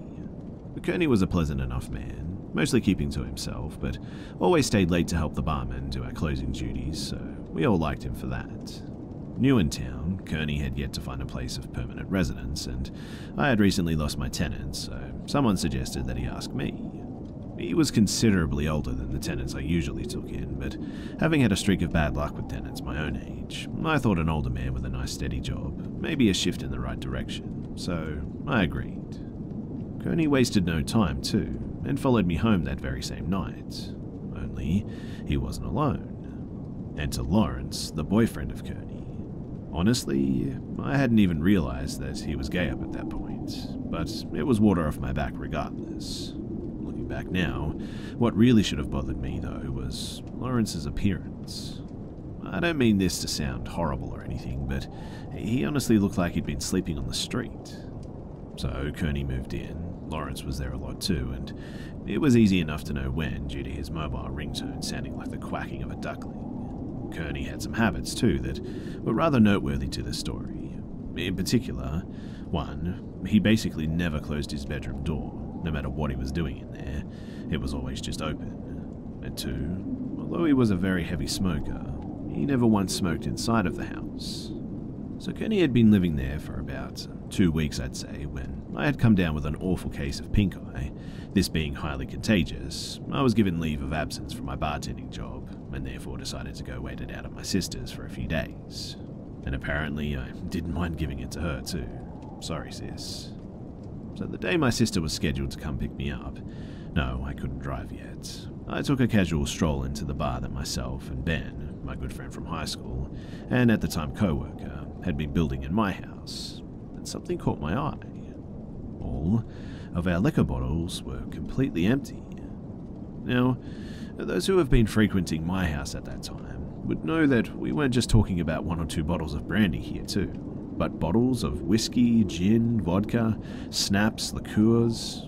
Basically, it was a fully stocked bar that could host a pretty big party without requiring much in the way of additions.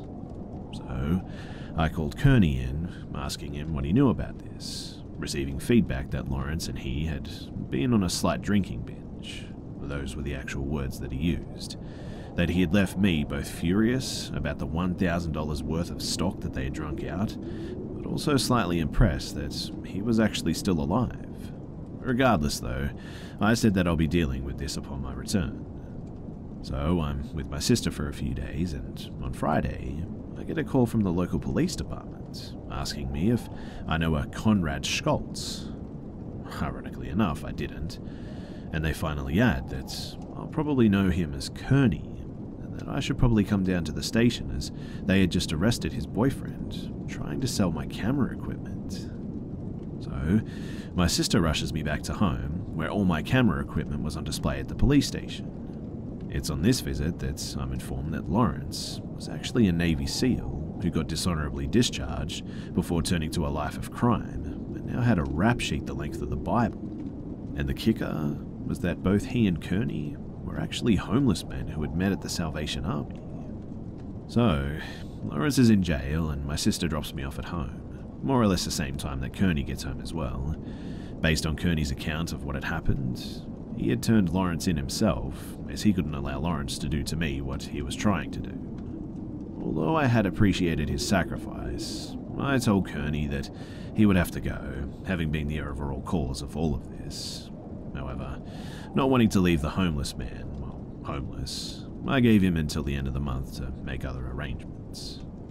So, Monday comes, and having just completed staff meetings, I walk home to encounter a very much free Lawrence sitting on the sidewalk across my house, watching it. I confront Lawrence as to why he's there, and he tries to apologize before begging for money. Rather out of character, really, too, but I dismissed him without giving him a cent. Now, to go back to the previous night, You see, I had mentioned the staff meeting for a reason, as it was at this meeting where he had gotten a rather sizable list of liqueur bottles that had gone missing from the storeroom, leaving us all suspecting each other. But I, however, would not have to wait long to figure out who the real culprit as a few days later, I opened the garage bin in my kitchen to see the missing bottles, all empty and staring back straight at me. I decided to sit on this information for the time being, although I did photograph it, just for in case I need it as evidence later. I had also called over Ben to inform him of the other developments. As this was quickly becoming a detective game, we decided to enter Kearney's room to search for further evidence. Nothing of vast significance in there, with one exception two single photographs of Lawrence before he had turned into the homeless version of Lex Luthor or Charles Xavier. Actually, there were several of Lawrence's things still in there, but as Lawrence spent a lot of time in there, before the incident that is, I just accepted this as normal. Now, I should also add that I had mentioned Lawrence's release to Kearney and had told him that if I even suspected that they were still seeing each other, I would throw him out of the house myself. Only a few days would pass before this came into play. On this particular night, I'd been bartending again, and Kearney had constantly been stopping by the bar to help himself to draught glasses, half full of wine and half full of coke, which he would go and drink outside the restaurant. We confronted him about this, but as he correctly pointed out, he was still a manager and we had no right to tell him what he could or could not do. On his fourth trip, however, I had grown suspicious and decided to follow him outside, where I encountered Lawrence sitting outside, sharing the half Coke, half wine concoctions with Kearney. And this really ticked me off. So the next day, I returned to the restaurant with my photographic evidence that I handed over to the general manager, who was also kind of a friend of mine. And although I hadn't physically seen it, I had heard the confrontation through the office door when he fired Kearney Kearney left, obviously upset, and apparently had no idea that I'd been the one who had turned him in. So we had closed early that night, and I was walking home, going past the high school. I saw Kearney coming from the opposite direction. He just walked past me, literally only saying two words, I'm scared, before just disappearing into the darkness. And that would be the last time that I would ever physically lay my eyes on Conrad Schultz. We reached the final week before Kearney's eviction was to take place. Ben had come to stay with me for that duration, as we both wanted to monitor the situation and make sure that nothing else happens. It was in this week that Kearney's behaviour suddenly changed. He was constantly smoking in his room, and his door was closed 24 7. In fact, neither Ben nor I had caught so much as a peek from him in that entire last week, which we hadn't thought much of at that time. So the day of Kearney's eviction comes around, though. Ben had gone home for a few hours, and I had finally heard Kearney's bedroom door open. Someone walks out of the room, opens the front door, and leaves. I follow him outside, but somehow he had already completely disappeared. Well, what was left, though, was his house keys, indicating that he obviously wasn't planning to come back. I took a look at the keys, noticing something strange. Although the correct keys were all on the keychain, there were also several that weren't mine. And why would he leave me the wrong keys? I remember myself thinking as I walked into his room. And his room was a shock to say the least. Not because of the state that it was in, the two had broken his bed in an act of wild monkey stuff, but I had known about that already. As I said, he never closed the damn door. But more that he had literally left almost all of his belongings behind, with one exception. You guessed it too, the two photos of Lawrence. Upon further investigation, I suddenly realized too that all traces of Lawrence ever being there completely vanished, with all of Kearney's stuff left behind. There was one thing of Lawrence's left behind, though his duckling ringtone, which turned out hadn't been so much as a ringtone as an actual duckling, which now strolled around casually in the vacant bedroom. We named him Neville, by the way. So, Ben returns and gets updated about the developments, both of us thinking the way that he left was rather weird. Of course, the whole thing had been weird, though. It was only when I asked the infamous question that this became a bit of a conspiracy theory. Did you ever actually see Kearney in this last week? It was to our shock that we realized that neither of us had. And suddenly putting the puzzle pieces together, the changing habits, Neville the duck, the wrong keys, only Lawrence's stuff being gone, it was to great discomfort that we both asked the question who had been really living in our house this last week? During the next few days, Ben and I went on a bit of a mission searching the town, crawling into drain pipes, trying to find any trace of Kearney's whereabouts. But they all added up to nothing. Conrad Schultz had simply vanished off the face of the earth. That wasn't the case with Lawrence, though. No, he was still around, having made some new homeless friends, and we encountered him several times begging on the streets. I asked him every time, Where's Kearney, Lawrence? But he just acted like he had never even heard of him. The last time that I would see Lawrence was across from my work, attempting to break into a car. I had called the police on him, and they had arrived rather quickly, arresting him on the spot. And while he was being led away by the police, I shouted after him one more time, Where is Kearney, Lawrence? But he just ignored me and let the cops drag him away. Next day, I filed a police report reporting Kearney as a missing person and suggested that Lawrence may know something about it. But nothing ever really came of it.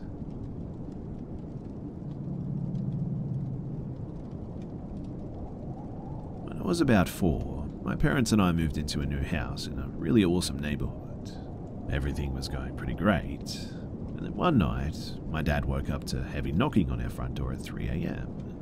He went to see what was going on, and there were multiple police cars and a bunch of policemen standing around our house. My dad opened the door and asked the officers what was wrong. One of them said, Sir, I need you to bring your wife and child, if you have one, downstairs. Then I need you to step outside with these officers here. My dad has no idea what in the world was happening, but he went upstairs and woke up my mum and I. When he brought us down, the officer sat my mum and me on the couch and started asking super weird questions. It was all stuff like Does your husband ever hurt you? Has he ever made you feel helpless? Have you ever gone in your basement to get away from him? Does he ever lay hands on you or your child? All stuff like that. My mum was obviously shocked and, of course, said no to all of it. My dad would never do anything like that. Then, policemen with flashlights and guns came in and asked to search our house.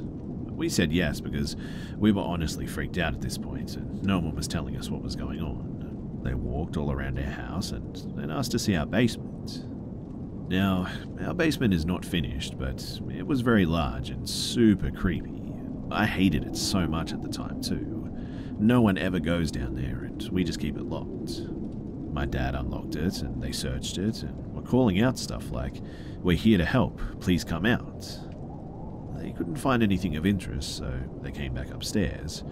My dad then told them that we deserved to know what was going on.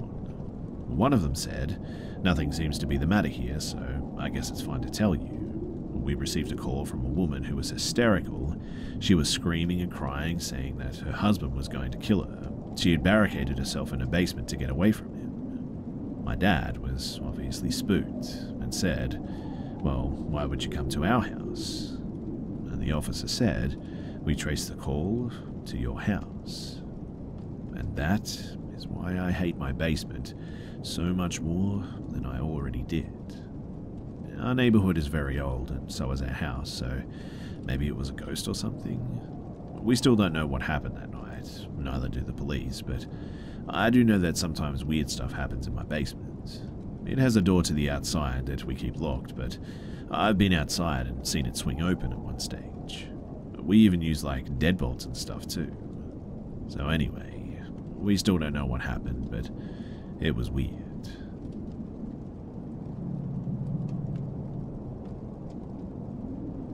This happened when I was a small child, probably around four, and it was an experience that I know now as a near death experience. So I was with my grandmother, who was very healthy, still is very healthy for a 70 year old woman. We went trekking across our property with a picnic basket in tow, just looking to sit down with our dog and have a nice time. Normal grandparent stuff. we ended up crossing the creek, it was dry at the time, to go back to the pasture. Nearby, probably uh, 50 yards away, was our cedar tree. We had sat down and started eating when our dog just started acting crazy. This dog, bless her soul, was an angel too. Honestly, did not act like a dog most of the time. She never barked, never jumped, always acted polite, but at this stage, she just went nuts, running in circles around us, growling and barking. My grandmother got concerned, obviously, so she put our picnic stuff in the basket and tried to calm her down. I was sitting a few feet away, scared because my dog was growling. I'll admit too that my memory gets a little bit fuzzy around here, but I remember seeing a large grey creature step out of the creek or the tree line that we had previously walked through. My grandma scooped me up and just booked it out of there, our dog running with us. I am 90% sure too that she ran to the cedar tree and she always talked about it being her favourite tree and about how protective it was or something. The tree was a lot closer than our house, and that was roughly half a mile away at this point. I just remember our dog calmed down eventually, and I was happier. And no, I don't live in the southwest. I live in the south central and east in Arkansas, close to Louisiana, so I honestly have no idea what it could be.